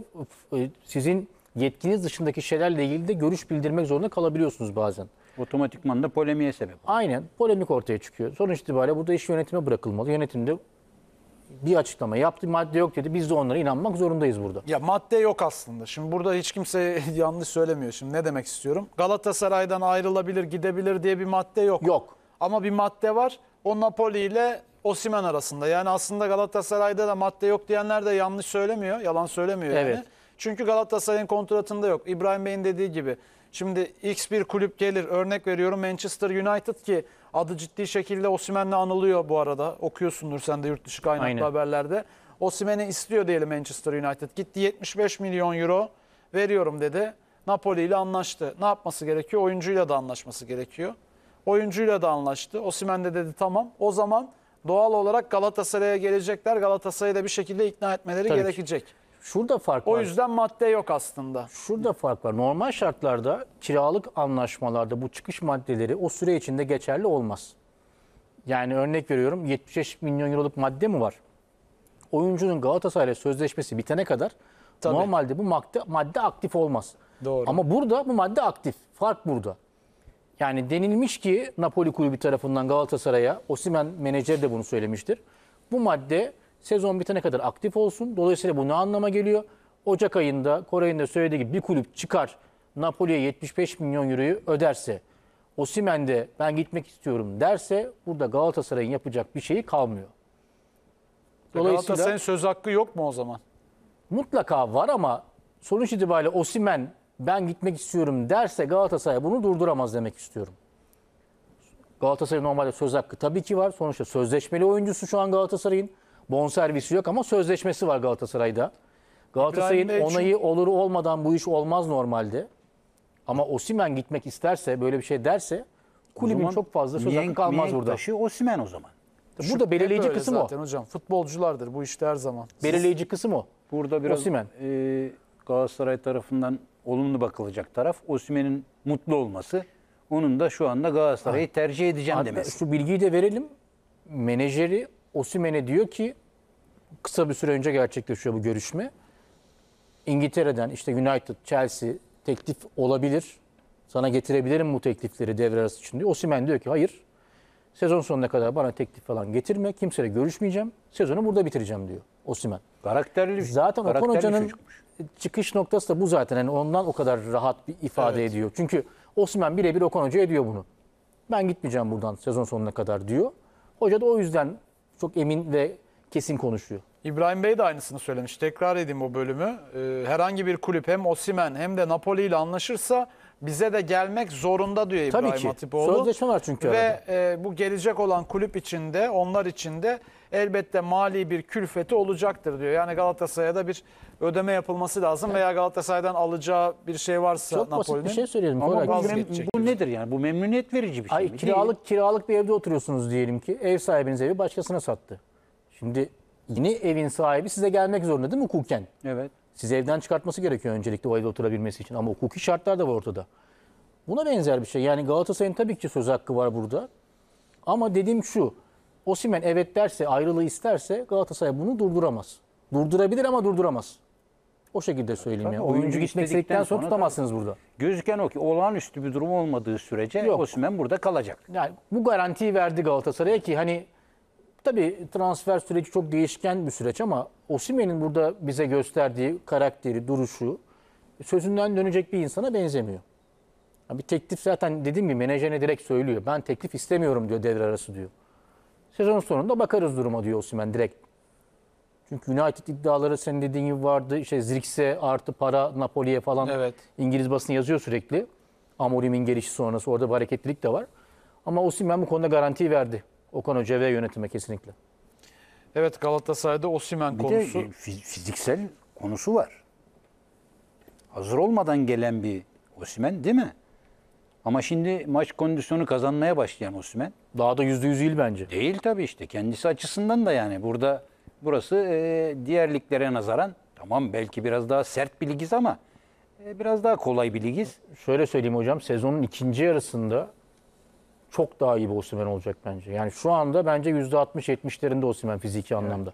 Hani e, Serie A'da birçok maçını izlemiş birisi olarak, bir hayranı olarak Victor Osimhen'in Napoli döneminde İtalya'daki stoperlere yaptığını çok iyi biliyorum. Buradaki stoperlere çok daha fazlasını yapar ama fiziki anlamda %100'ünü bulması gerekiyor. Bence bir, bir, bir, bir, bir buçuk ay daha var. Bence çok zeki bir adam. Kariyer planlamasını da çok iyi yapıyor.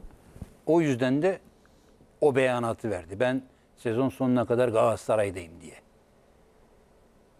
Kendisi açısından, kendi kariyeri açısından da iyi. Burada iyice pişecek. Ya Ondan sonra istediği yere gider. olabilir. Kendisi açısından kariyer planlaması.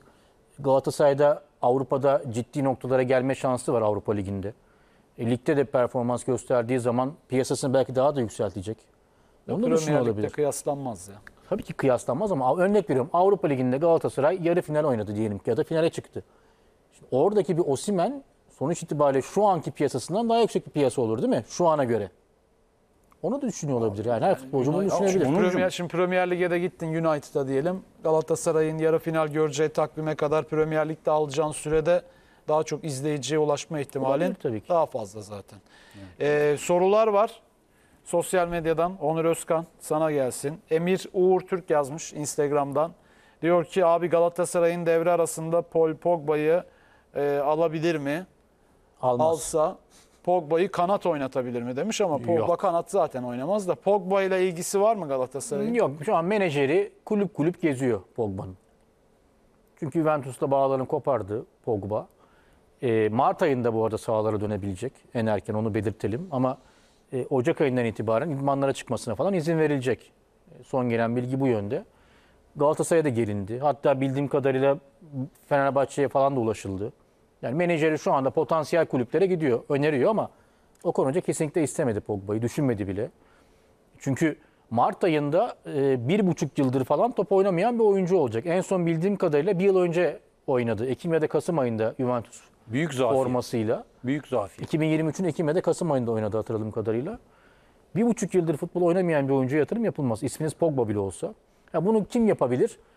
O bölgede acil transfer ihtiyacı olmayan bir kulüp bekleyebilir. Pogba o riske girilebilecek de bir oyuncu.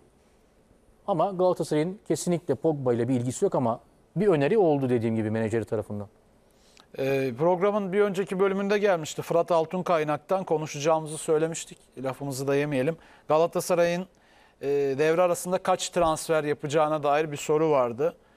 Bununla ilgili elinde hiç bilgi var mı? Yani kanat transferi kesin.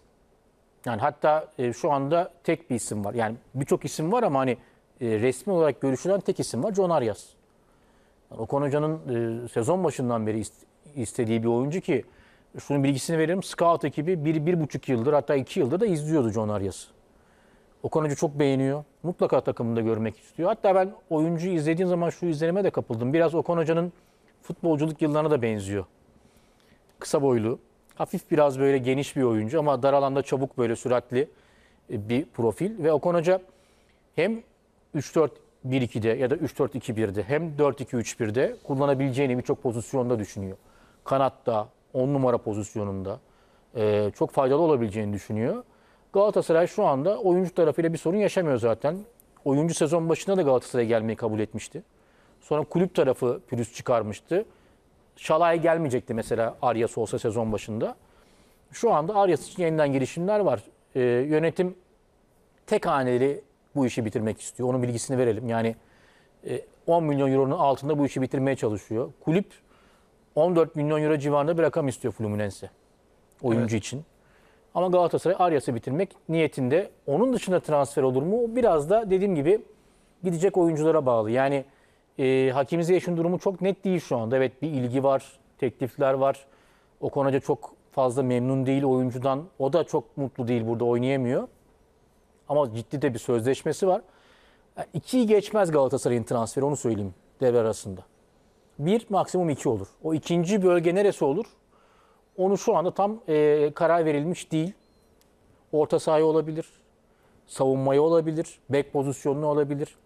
Yelert'in durumu var. O tam net değil. Yelert konusunda bir ayrılık olabilir mi onu göreceğiz.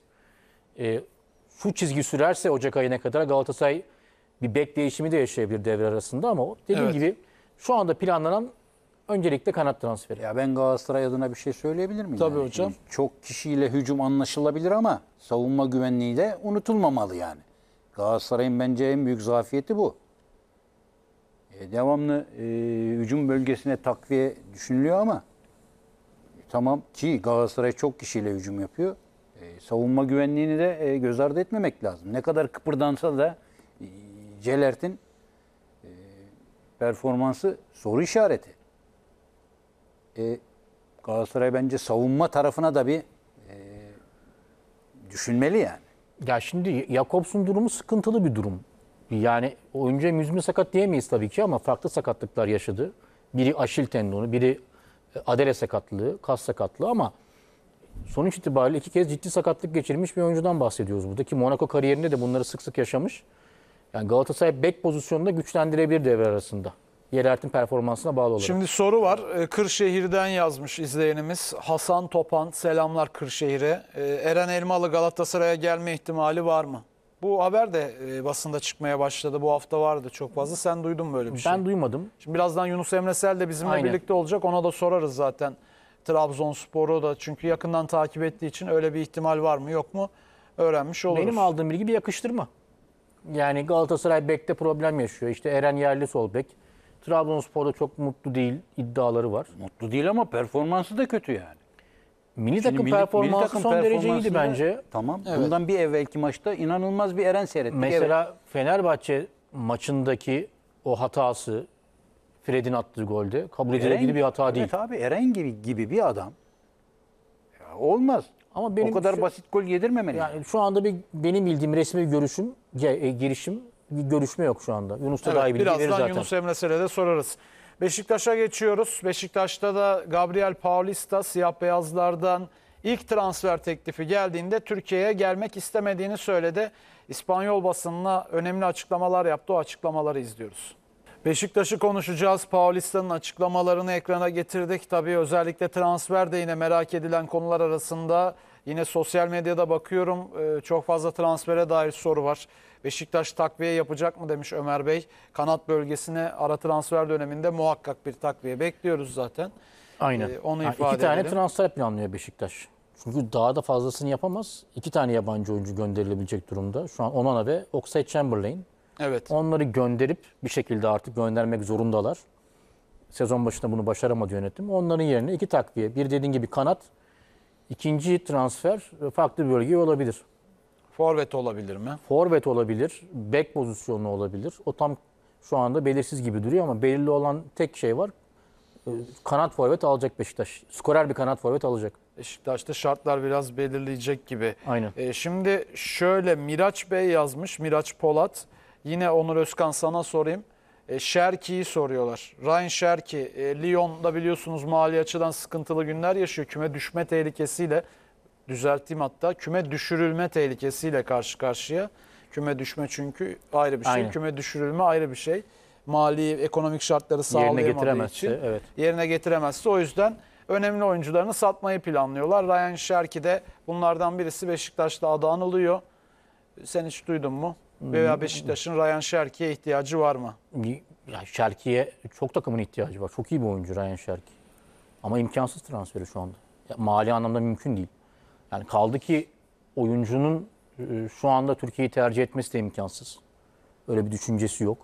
Ya, tamam Lyon'un ekonomik problemleri var ama sonuç itibariyle oyuncunun da bir değeri var. Şu anda pazar değeri 25-30 milyon euro civarında Ryan Şerki'nin. Ekonomik krize diye 5 milyon euroya mı verecek? 20 milyon civarı gözüküyor. Ve bizim ligimizdeki bütün takımların boyunu aşan transferlerden bahsediyoruz. Ya, Ya bir şimdi de- 75 milyon euroluk Osimhen gibi bunlar abi, Beşiktaş'ın bir de ekonomik durumu hani asla şu an bunu kaldırabilecek durumda değil. Böyle bir limiti de yok zaten Beşiktaş'ın onu söyleyelim. Yani Şarkı transferi Limit diye bir şey kaldı mı ki? Ya bir şekilde var. Şeklen de olsa var. Hiçbir kulübün limit mimit daha ben boşuna konuşuyormuşuz zamanında şu kadar limiti var bu kadar limiti var diye yani. Yani ben limitten kastımız biraz da şu hani kendi kağıt ekonomik üzerinde var şartları. olan gerçekliği olmayan bir şey evet limit doğru. Türkiye'de şu an. Sonuç itibariyle e, limitin uyan kulüp var mı? Yoktur büyük ihtimalle. Mesela Beşiktaş'ın şu bir gerçeği var. Şu anki Paulista'nın olmadığı stoper ikilisiyle o kadar geride oynuyorlar ki. E zaten kanatsız Beşiktaş ileriye gittiği zaman, çoğaldığı zaman eksik yakalanıyor geride. Sorun. Şey, limitle ilgili O- çok kısa bir şey söyleyebilir miyim? Pardon Tabii. hocam. Mesela bu sezon Galatasaray'ın limiti 3 milyar TL civarındaydı. Hani seneye 4 milyar TL oldu diyelim. Her sene bu bir artıyor. Evet. Osimhen'i Galatasaray diyelim ki aldı. Zaten tek Hani başına 50 4 milyon milyar euro aldı diyelim ki. Bakın 50'yi aldı diyelim. İndirim yaptı Napoli. Ne yaptı? 2 milyar TL değil mi? Şey bitti. Galatasaray'ın limiti bitti. O Neredeyse. sponsor girdisi gösterilir bir şey gösterilir. Hayır yani eğer gerçekten dediğin gibi limit olsa zaten bu transferi konuşamayız yok. zaten. Limit biz. Türkiye'de yok. Hiç kimse de bize inandıramaz bunu yani. Tamam kağıt üzerinde bir şekilde uygun hale getiriliyor. Limit nerede var ben size söyleyeyim değerli izleyenler. La Liga'da limit var.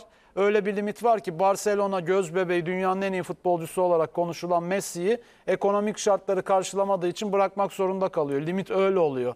İşte Lyon Fransa'nın en köklü kulüplerinden birisi küme düşürülmeme tehlikesiyle karşı karşıya diyoruz. Belki yok pahasına satması gereken oyuncuları olacak. Limit öyle oluyor. Yani Hatta Barcelona- e, Türkiye'deki limit falan değil. Kağıt üzerinde olan uygulamada olmayan Olmayı bir şey aldı. Barcelona sezon başında. Ciddi bir süre oynatamadı olmayı. Lisans çıkaramadı.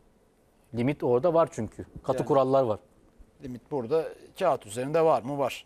Uygulamada var mı? Orası tartışılır. Yani ne yazık ki girmeyelim böyle. çok uzar. Tabii tabii. Çok yani uzar yok yani. işin içinden çıkamayız da.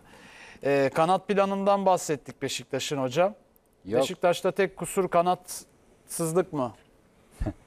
Bir kere büyük takımların yarışı kazanması için iyi yedek oyunculara sahip olması gerekir. Bırakın Beşiktaş'taki yedek oyuncu zafiyetini henüz daha kanatları yok. Bana göre stoper bölgesinde eksiği var. E, Beşiktaş'ın olmazsa olmazı evet kanat. Şimdi Joao Mario orada verimsiz ve eleştirilere sebep oluyor orada olduğu zaman. Rafa Silva'yı oraya koyduğun zaman adamın oyun zekasını elinden alıyorsun. E, geri gelme becerisi olmadığı için bu sefer beklerde sıkıntı yaşıyor. Beşiktaş'ın bana göre olmazsa olmazı en az bir tane, en az bir tane bir kanat oyuncusu lazım. E, bunun haricinde e, çok alternatifli kadrosu yok. Ha bizim genç oyuncularımız Semih Semih o kadar çok gündeme getiriyoruz ki e, o kadar erken olgunlaştırdık ki hakikaten alıcı gözle şöyle Semih'i izlediğimde abi kafayı yerden bir kaldırsa belki bir şeyler yapacak da böyle oyuncu karakteri kalmadı artık. Artık e, bireysel becerilerini tamam kullan kullan ama takım oyununa da adapte ol yani. E, Baban bir top getirsin al o topla sen tek başına oyna o zaman. Böyle bir şey kalmadı futbol artık. Daha güçlü, daha atletik oyuncular oynuyor. Sende o güç var. E, atletiklik iyi. Ama oyun, zekası... Oyun bilgisi zayıf oyun- galiba. Olmaz abi. Gelişmedi Kafayı- ama ya. Daha zamanı var. Valla eskiden yaparlardı bize. Buraya bir boyunluk koyarlardı. Kafayı yere eğme diye öyle top sürmeyi öğretirlerdi bize. Ciddi misin hocam? Yemin ederim. İyiymiş o da.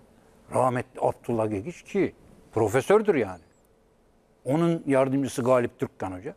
Boyunluk takıyordu. Evet. Kafamızı yere eğmeyelim diye. e, görelim diye. Çevre kontrolü. Semih'e var ya o plastikten falan yetmez. Ona çelik yapmak lazım. Mesela hep söylerler e, La Masia hani futbol okullarının herhalde bir numarasıdır. Orada ilk öğretilen şeylerden bir tanesi çevre kontrolü. İki, tek pas. Top ayağından çabuk çıkarma. Yani oyunculara ilk öğretilen şey bu. Bakın oradan çıkan oyunculara Xavi, Iniesta, Gavi, Pedri, radar gibi sürekli 360 derece dönüyor. Bu öğretiliyor. Çünkü futbolda çok kıymetli artık bu çevre kontrolü, boş oyuncuyu görme, doğru yere doğru pası atma, karar mekanizması. Bunlar e, altyapılarımızda bizim de öğretilmesi gereken şeyler ama mesela Barış Alper Yılmaz da Galatasaray'a geldiğinde bu problemi yaşıyordu. Hani Birçok oyuncumuzda bu var. Belki de altyapılarımızda bu eğitim tam verilmiyor mu bilemiyorum tabii ki. Bence üzerine durulmaması gereken bir nokta. Bakın Semih çok yetenek. Saf bir yetenekten bahsediyoruz değil mi? Fizik kalitesi belki de yaş grubunda çok çok üzerinde bir oyuncu. Bizde eğitim yok ki altyapılarda. İşte Sadece sıkıntı- Allah vergisi yetenekli çocuklar geliyor. Onları da keşfetmişiz gibi davranıyoruz. Böyle bir şey yok. Ya bu işin Herkes Arda eğitimi Güler- olmalı. Eğitimi. Herkes Arda Güler olamaz yani. yani Bazı oyuncuların eksikleri oluyor. Onları tamamlamamız gerekiyor. Mesela Semih sanki altyapılarda hiçbir şekilde çevre kontrolü, eğitimi almamış. Sanki karar mekanizması konusunda bir şey öğretilmemiş gibi oynuyor şu anda. ya bizim ligimizde bizim e, profesyonellerimiz, oyuncularımız top istopunu bilmiyor abi. Evet, ilk kontrol. Topla dönüş yok, ilk İlk- kontrol yok. kontrol çok önemli bunlar. Evet. Tebrik ederim Onurcuğum seni. Ya bu o kadar önemli bir faktör ki. Ama adam topu üstü verirken 5 metre açılıyor ya önünden. Abi bunu topla dönmeyi öğretmediniz mi ya? İzleyenimiz yazmış Fırat Çakmak Beşiktaş'ın gündeminde Talişka var mı? Ee, Onu soruyor tabii. Fenerbahçe ile adının anılmasının ardından doğal olarak e, reklama gitmeden de golleri de verdik. Beşiktaş'ta yaptığı muazzam işler vardı. Taraftarın çok sevdiği isimlerden birisi. Belki de Quaresma'dan sonra en çok sahiplendiği isimlerden birisi. hatta. Doğrudur. E, Anderson Talişka doğal olarak onlar da yeniden görmek isterler diye düşünüyorum. Talişka ama Beşiktaş'ın gündeminde var mı? Bu birinci sorum olsun. İki, Rafa, Rafa'nın varlığı Talişka'nın gündeme girmesini engeller mi? Bu da ikinci soru olsun. İkiden başlayalım. Engeller. Beşiktaş'ta Rafa Silva olmasa belki şu anda transfer için devreye girebilirdi. Ama şu anda böyle bir düşünce yok. Çünkü Beşiktaş'ın çok daha acil ihtiyaçları var. Yani iyi oyuncuyu almak değil meziyet. Bazen takımın ihtiyaçlarına göre doğru oyuncuyu da almanız gerekiyor. Beşiktaş'ın çok acil ihtiyaçları var. Mesela Fenerbahçe'de çok acil bir ihtiyaç var mı transfer anlamında şu anda? Bence yok. Ama kaliteyi getirebilirsin ekonomik gücün varsa. Ama Beşiktaş'ta acil ihtiyaçlar var. Önce bunu senin karşılaman gerekiyor. Nedir bu? Kanat. Talişka'yı aldığın zaman Rafa'yı kanada atacaksın. Zaten Rafa kanatta yapamıyor. Çok net gördük bunu. Dolayısıyla şu an bir gündemde yok. İki olmamasının sebeplerinden bir tanesi de belki en birincisi Rafa Silva'nın varlığı. Hocam Talişka'ya ihtiyaç var mı Beşiktaş'ta? Beşiktaş'ta bak Rafa Silva'nın olduğu yerde ihtiyaç değildir Taliska. Ama Taliska'nın varlığı takıma çok şey katar. Bu da ayrı bir şey. Fakat Beşiktaş önceliğini Taliska'ya verirse eğer ki Fenerbahçe'ye giderse taraftarımız çok üzülür.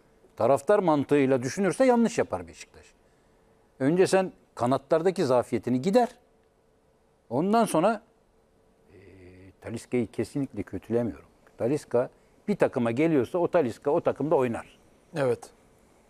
Ama Rafa Silva'nın olduğu yerde önceliğin kanatlar olmalı lazım. Önceliğin ya El Musrati'ye çok iyi başladı dedim ben mesela Beşiktaş'ta. Kontrol oyuncusu olarak. Abi uçağa düşürürüm herhalde ben herife dedim adam gitti. E Hocam onun yayın- yerine yayın- oynayan o yayın- genç oyuncu ne o? Yayın başında beni övdün. Biraz da ben herhalde Geçmiş yapıyorum. olsun. Onur. Ama seni uzun zamandır takip ediyorum. Hep böylesin. Hep şık, hep canti. Onur geçmiş olsun. Evet. Yani. Hocam Musrati övmüş gitmiş ondan sonra. Onurcuğum. Yok. Ee, şimdi Beşiktaş'ta mesela kontrol oyuncusu eksiği de var bana göre. Sto- Stoper tandemi de sıkıntılı bana göre. Hocam Beşiktaş ara transferde istediği Niye hamleleri Emirhan var yapsın. hocam? Yok. Milli takımda. Var şu da. an. Oynar mı bugün mesela Emirhan? Biz Emirhan'ı konuşmadık milli takım bölümünde de. Aslında takımın Sol takımda sol stoper. stoper olarak ama hocanın Samet'e bakışını bildiğimiz için yani ilk alternatif kafasındaki ilk oyuncu o yüzden Samet oynayacak. Ya bu çocuklar o oturmuş e, uyumlu kadronun içerisinde tamamlayıcı oyuncu olurlar, sırıtmazlar. Ama ben Beşiktaş tarafına döndüğüm zaman o ikili, stoper ikilisinde zafiyet var abi. Paulista Udokay'da mı? Paulista gelince düzelir. Udokay, Udoka ile Emirhan. Emirhan olunca. E bunlar adama uzak oynuyorlar. Geride oynuyorlar. E sen şimdi farkında mı Beşiktaş? Rafa Silva'dan verim alamamaya başladı. Rakip ne kadar paradını alırsa alsın Rafa Silva gibi adamların tutulması kolay adamlar değildir onlar. Onlar bir türlü geçer, becerir geçmeyi. Ama verimi düştü adamın. Niye? Mesafe çok uzak mesafe. Emirhan'dan Udakay eskiden bizim Fatih Hoca öyleydi. Kalecinin önünde oynardı. Hiç hata yapmazdı. Hata yapma şansı yok. Zaten kalecinin önündesin. Emirhan'la Udokay biraz şey oyuncular, baskı oyuncular. Yani şöyle söyleyeyim. Önde oynadığı zaman Beşiktaş o atletizm ve çabukluklarıyla iyi performans gösterebiliyor. Ama, Ama, sıkıştırmıyorlar takımı. hayır, ne zaman ki Beşiktaş topu rakibe veriyor ya da mesafeler uzuyor. Çünkü pozisyon bilgileri çok yüksek oyuncular değil. Teması seven, çabuk, atlet, o topla beraber çıkmayı seven oyuncular ama pozisyon bilgileri zayıf. Mesela Beşiktaş'ta 3 tane kilit oyuncu var. Paulista, Jetson, Rafa Silva. Bu üç oyuncudan biri olmadığı takdirde takımın sorun yaşamaması imkansız. Evet. Dolayısıyla Beşiktaş ara transferde ne kadar çok hamle yaparsa yapsın ne Fenerbahçe ve Galatasaray kadar kadro kalitesi yüksek olur ne de geniş olabilir. İmkanı yok. Ama doğru hamleler yapılırsa takımın birçok sıkıntısı giderilebilir tabii ki. Trabzonspor'a geçiyoruz. Yunus Emresel bizimle birlikte. Yunus hoş geldin. Hoş bulduk Koray yayınlar. Sağ ol. Trabzonspor'da devre arası için şimdiden ara transfer dönemi için çalışmalar başladı. Ee, nasıl gidiyor hazırlıklar Ee, ve Bordo Mavili takım kaç takviye yapmayı planlıyor? Koray öncelikle sana ve konuklarınız Zafer Hocama, Onur Özkan'a Trabzon'dan iyi yayınlar dileyelim. Ee, teknik direktör Güneş'in talebi doğrultusunda e, Trabzonspor'da transfer çalışmaları başladı. Başkan Ertuğrul Doğan yaptığı açıklamada hocamız da bir iki isim üstünde mutabık kaldık ama bir- birçok bölgeye de hocamızın talebi doğrultusunda kim istiyorsa transfer etmeye çalışacağız ifadesini kullanmıştı. Geçtiğimiz günlerde de teknik direktör Şenol Güneş Gürcistan'a gitti ve Gürcistan'la Ukrayna arasında oynanan Avrupa Ligi maçını yerinden takip etti. Bu karşılaşma 3 oyuncuyu izlediğine dair bilgi aldık. Biz de bunlar arasında tabii ki asıl ön plana çıkan oyuncu Ukraynalı Şaperenko ama Gürcistan'da forma giyen e, Luka ve Otar Kıyaşvili'yi de yakından takip etti e, Şenol Hoca. Bu Otar Kıyaşvili orta sahanın ofansif orta saha bölümünde ve sağ kanat bölgesinde forma giyebiliyor. Luka ise stoper bölgesinde oynuyor. Bunlar şu an için sadece bir e, tespit olur olmaz noktasında bir arttırma boyutunda. Ama birçok bölgede özellikle forvet hattında, ofansif orta saha bölgesinde, kanat rotasyonunda ama ofansif orta sahayı biraz daha açalım. 8-10 numara pozisyonunda daha çok oyunu iki yönlü oynayabilen ama ofansif becerileriyle takımı ileri taşıyabilecek bir oyuncu noktasında bir e, oyuncu istiyor. Kanat rotasyonunda oyuncu istiyor. Stoper bölgesinde bir lider oyuncu beklentisi var ve eğer e, kontenjanla ilgili bir sorun olmazsa yani bu noktada bir sıkıntı yaşanmazsa bek rotasyonunu da güçlendirecek bir isim talebi var. E, bununla ilgili de özellikle Katar basınından da flash bir iddia ortaya atıldı. Dün e, Trabzonspor sezon başında Mahmut Trezeguet'i El Rayyan'a kiralık olarak göndermişti. Kanat rotasyonunda Mistavors için e, kadro dışı bırakılması, Vakeme'nin de sık sık sakatlanması nedeniyle e, geri gelebileceğine dair, geri çağrıldığına dair e, Katar basını haberler yaptı. Şenol Hoca da geçtiğimiz günlerde yaptığı açıklamada şu ifadeyi kullanmıştı. Trezeguet çok faydalı bir oyuncuydu. Neden gittiğini hala anlayamadım ama geçmişi konuşmanın da bir anlamı yok demişti. O yüzden belki ara transfer döneminde tekrar e, bu ismin geri çağrılma gibi bir durumu söz konusu olabilir ama tabii ki Er Ryan'ın da buna müsaade etmesi e, gerekecek. Bir diğer noktada da bu akşam yaşanan bir e, son dakika gelişmesi. Teknik direktör Şenol Güneş'in teknik ekibini güçlendirme noktasında da bir çalışması vardı uzun zamandır. E, eski futbolcu Trabzonsporların gözbebeği aslında Türk futbolu için de önemli isim. İbrahim Yatları'nın da e, Şenol Hoca'nın teknik ekibine dahil olma durumu var. Henüz pozisyonu netleşmedi ama böyle bir durumda bu akşamın sıcak gelişmesi olarak dikkat çekiyor. Evet İbrahim Yattara e, ilk kez duyduk. Sıcak bir gelişme. Hakikaten e, neler yapar neler katar tabii onu bilemiyoruz ama transferde Trabzonspor gaza basmış gibi gözüküyor. Yunus Emre sen yayına bağlanmadan önce izleyenler de sorularını yolluyordu bize. E, şu soru geldi Galatasaray bölümünde geldi bu soru. E, Trabzonspor forması giyen Eren Elmalı Galatasaray'ın gündeminde var mı? Devre arası böyle bir takviye için görüşme olur mu diye. E, basında da bu hafta aslında birkaç yerde de okudum. Sen ne, nasıl değerlendiriyorsun bu haberleri? Trabzon'da bir karşılığı var mı şu an bunun?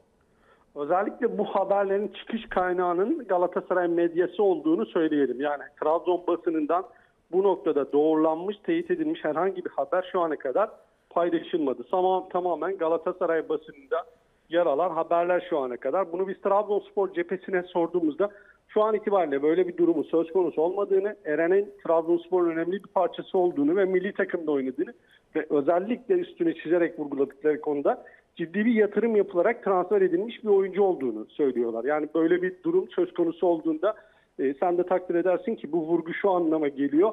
Ciddi bir gereklilik olacak. Yani karşıdan önemli bir talep olur böyle bir durum söz konusu olursa. Ama şu an itibariyle böyle bir durumun söz konusu olmadığını, kendilerine herhangi bir teklifin e, gelmediğini çok net bir şekilde ifade ediyorlar. Ama diğer noktada da zaten bir seçim süreci var Trabzonspor'da. Mevcut başkan e, Sayın Ertuğrul Doğan tek aday olarak seçime giriyor ama yarın saat 17'ye kadar e, listesinin önemli bir bölümünü, tamamını sunması gerekmiyor ama önemli bir bölümünü divan kuruluna sunması e, gerekiyor. Burada da yeni yönetiminde nasıl değişikliklerin olabileceğini az çok görebileceğimiz bu nokta olacak. Bu da aslında e, yarın için Trabzon adına kritik bir gün olduğunu da gösteriyor. Yunus seni bulmuşken hemen bırakmıyorum. Onuachu meselesi yine o da gündemde konuşuluyor. Trabzonspor'un Onuachu hamlesi olur mu ara transferde?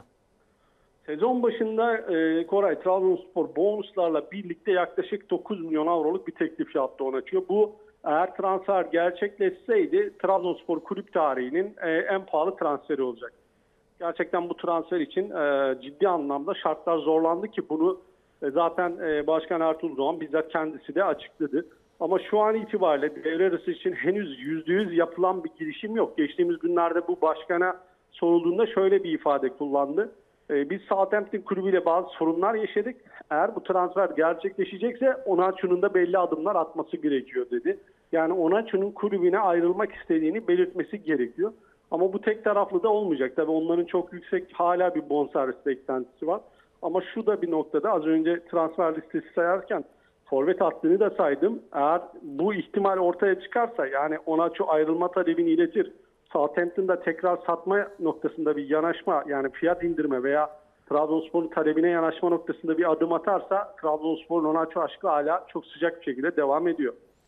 Hep transferi konuştuk tabii. Sezon başında kadroya gelen Savic'in durumu da çok merak ediliyor. O Oyuncunun geri dönüşüyle ilgili bir bilgi var mı? Tam 7 maç oldu. 7 lig karşılaşmasında, son 7 lig karşılaşmasında sakatlığı nedeniyle forma giyemedi Stefan Savic. Geçtiğimiz hafta Şenol Hoca düzenlediği basın toplantısında oyuncunun Adana Demirspor maçı öncesi takıma katılabileceğini, o 19 takımıyla oynayacak olan hazırlık maçında da oyuncuyu değerlendirmek istediğini söylemişti. Ama e, Savic o 19 oyununun hazırlık maçında forma giyemediği gibi aradan geçen iki günde de henüz takıma tam olarak katılabilmiş değil. Bu da akıllara şu soruyu getiriyor. Tabii Adana Demirspor maçında oynama ihtimali her geçen gün biraz daha azalıyor. Bugün çift antrenman yaptı Trabzonspor. Sabah saatlerinde yapılan çalışma bitti. Akşam antrenmanı da şu sıralarda tamamlanmak üzere. Bu antrenmana katılıp katılmadığını henüz e, not alamadık, teyit edemedik ama e, bu hafta boyunca takımla çalıştığı antrenman sayısı sadece 2.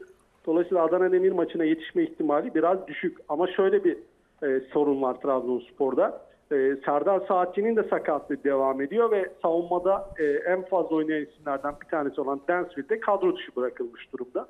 Dolayısıyla orada bir değişim yapacak Şenol Hoca. E, yaklaşık en son maçına yanılmıyorsam 25 Ocak tarihinde çıkan yani 25 Ocak 2024 tarihinde çıkan Hüseyin Türkmen'in e, bu hafta sonu pazartesi özür diliyorum pazartesi günü oynayacak olan Adana Demirspor maçında forma giyme ihtimali bulunuyor. Çünkü Pedro Malheiro kart cezalısı sağ bek. E, stoperlerden Serdar Saatçi sakat. Savic henüz takıma katılmadı. E, Dansville kadro dışı. Dolayısıyla orada bir e, sıkıntı yaşanıyor şu an itibariyle. O yüzden Hüseyin Türkmen forma giyebilir ve Ukraynalı genç stoper Arseni Batagov da e, Adana Demirspor maçıyla birlikte ilk kez Trabzonspor forması giyebilir. Şu an gidişat bunu gösteriyor. Yunus Emresel çok teşekkür ediyoruz. Tüm detayları konuştuk. Aklıma gelen, e, aklınıza gelen herhangi bir soru var mı farklı? Transferden Savic'in durumuna kadar masaya yatırdık. Çok teşekkür ediyoruz. Kolay gelsin. İyi yayınlar, teşekkürler. E, tabii şimdi transfere dair çalışmalardan bahsetti. Eren Elmalı meselesini sorduk. Özellikle dedi ki yani Trabzon medyasında veya Trabzonspor'a yakın gazetecilerin hiçbirinden böyle bir haber yok. Haberin çıkış kaynağı tamamen İstanbul'da Galatasaray'a yakın olan e, gazetecilerden çıkıyor. Hatta gazeteciler bile değil biraz sosyal medya hesaplarının köpürttüğü olay. Olabilir. Olabilir. Ee, bundan bahsetti. Yattara'nın geri dönüşü.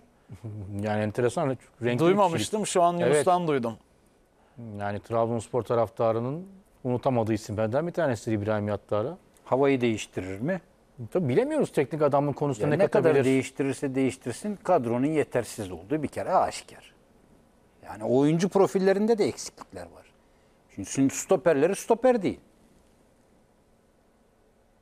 Ya baktığın zaman e, Orta sahalar oynuyor ya stoper po- olarak. pozisyon almada sıkıntı yaşıyor stoperler. Hocam, ara, Orta ara sahada transfer dönemi sa- sanki Yunus öyle bir anlattı Tabii ki normal transfer sezon başı dönemi gibi. transfer dönemi Trabzonspor'un böyle 2-3 ay süresi var. Takım yeniden yapılanacak falan öyle bir şey anlattı bize. Çünkü fotoğraf böyle.